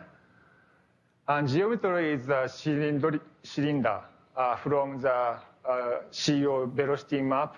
The, and I add the uh, amorphous carbon grains and the PAH. And but the stop calculation. I stop the calculation when the model uh, flux density at one, 170 micron, I uh, reached or exceeded the observed uh, flux density at the same fluxes. And then I, I finally I got the uh, model result as shown in here. The red lines of the uh, uh, predicted the SED of the cloudy model. And the blue circle is the observed photometry point. And then I obtain the, uh, finally obtain the luminosity and the effective temperature. And gas mass here, gas mass and dust mass is here. The first question is uh, uh, how much uh, dust mass uh, is from per component. It's, this is very uh, rough estimate when I try to uh, fit the uh, data up to 36 micron, uh, the, the dust mass is this. And then I try to fit the, all the data, red lines, the dust mass here. So roughly, roughly estimate the, uh, the, the dust mass uh, is about the 40% of the total mass is from the pyre dust component. But I emphasize this, uh, the, this estimate is still is a rough estimate, so I need to uh, check again. Yeah, here is the zoom in the fitting result of spectra in the Spitzer wavelength. I match the resolution of synthesis spectra to to the Spitzer spectra, Spitzer resolution ones. The same the red line the cloudy model result. I highlighted the position of the molecular hydrogen lines here. But in this model, I exclude the 70.3 micron fluxes. So And also, there are no strong iron lines um, in found in the solar metallicity models. So you think that the fitting it seems to be good, but I'm, I should mention the difficulty of the H2 line uh, reproducing. Uh, to reproduce the H2 uh, line fluxes, an extra heating source is necessary. I tried to, uh, three trials. One is a central star, star model, central star only, and the cosmic ray heating and X-ray heating. But all, all model cannot recover the observed line flux. It's, it's line fluxes. So I show the flux emissivity, volume emissivity map of uh, H2 9.66 micron. Is this figure? Horizontal is uh, gas density, and uh, vertical is gas density, gas temperatures. The peak is around 1,000 Kelvin. Uh, this temperature is uh, almost consistent to the observed H2 ex, uh, excitation temperature. So fortunately, we look at the highest H2 emission regions in this object. So we set the flow temperature in PDR in the reproduced H2 fluxes. When I uh, set the flow temperature model, flow temperature, I can reproduce the, uh, the observed line fluxes. This is uh, this is a normalized uh, flux, normalized flux, and this is a, the case of the without flow temperature, and this is a with flow temperature cases. But this model, still model, uh, I,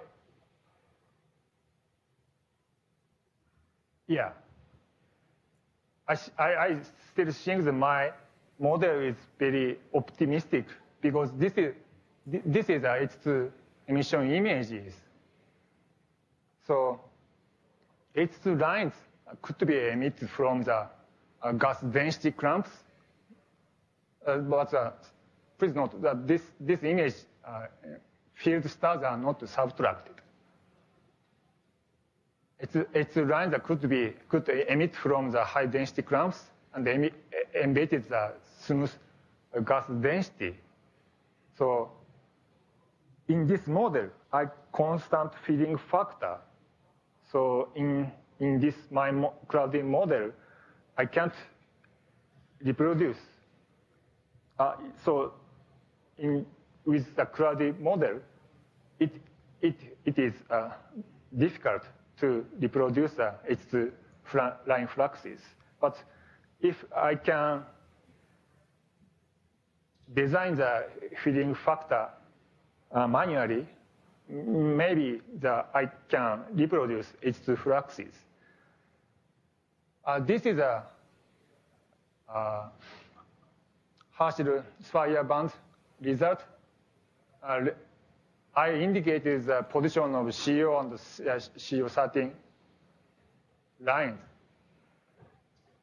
So this is a summary of the this uh, fitting. The H2 is here. Uh, the observation, the models.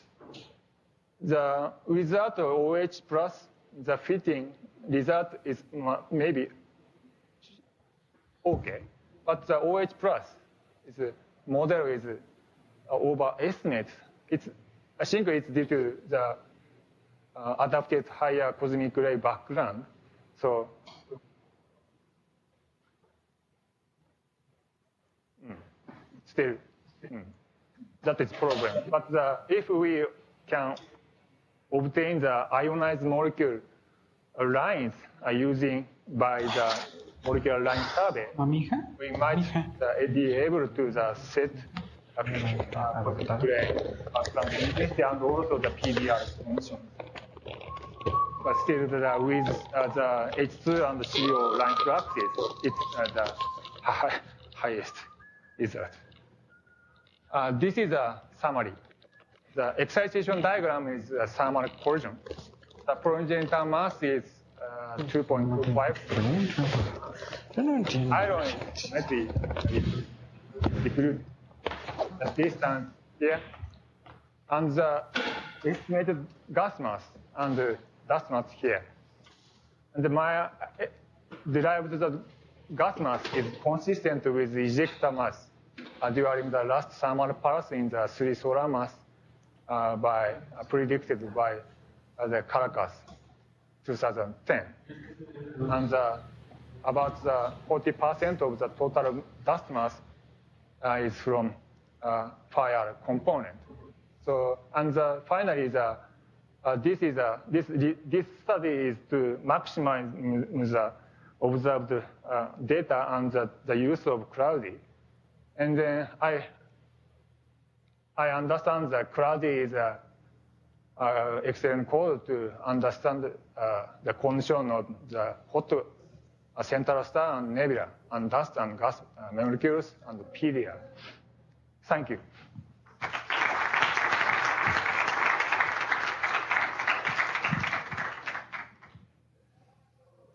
Thanks a lot for this very nice talk on dust. Will. If anyone else has a question they want to ask first. Okay, so I had a very nice talk. I think we can explain exactly why you failed to reproduce the molecular hydrogen um, line intensities with your model.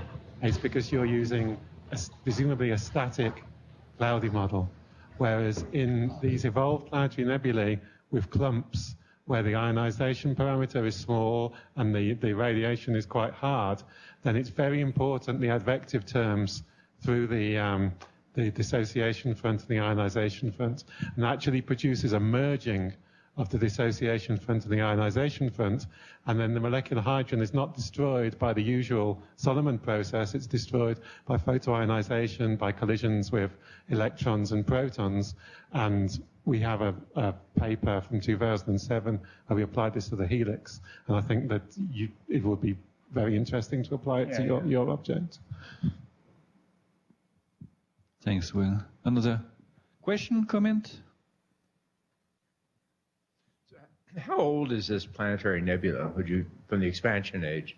Expansion age is uh, the same uh, same as uh, ring nebula. I I, I it's about the I estimate the uh, kinematical age and evolutionary age. The both age is consistent with ring nebula. The about 10 to 10,000, hmm?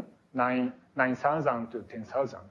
The, that's the, the funny thing about planetaries is so short-lived. They're always so young, and the, the chemistry network is pretty ponderously slow. So it, Yeah. it, you might check whether the whether it's had time to come into equilibrium or not. It, it's uh, it may things like other parts of the network may be worse than than Will was saying about the advection of the H2. But these are these are surprisingly young. It's seldom in astronomy we deal with things that are so, so short-lived.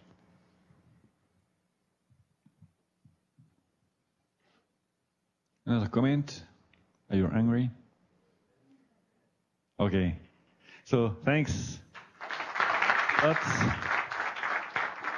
And we will thank all the all the speakers of this morning session, and we will go for the last lunch of this cloudy meeting. We will come back here at quarter past two.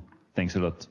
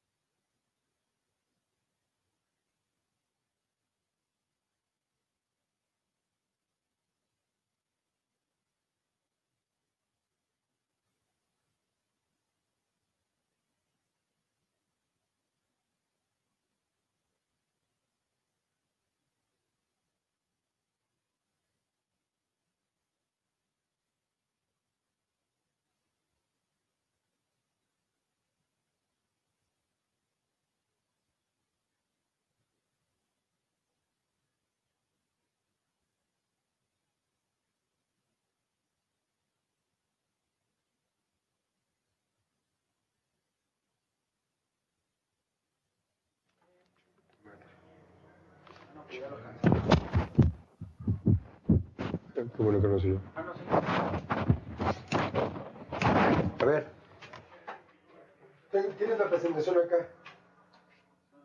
Luego X, la X presentación.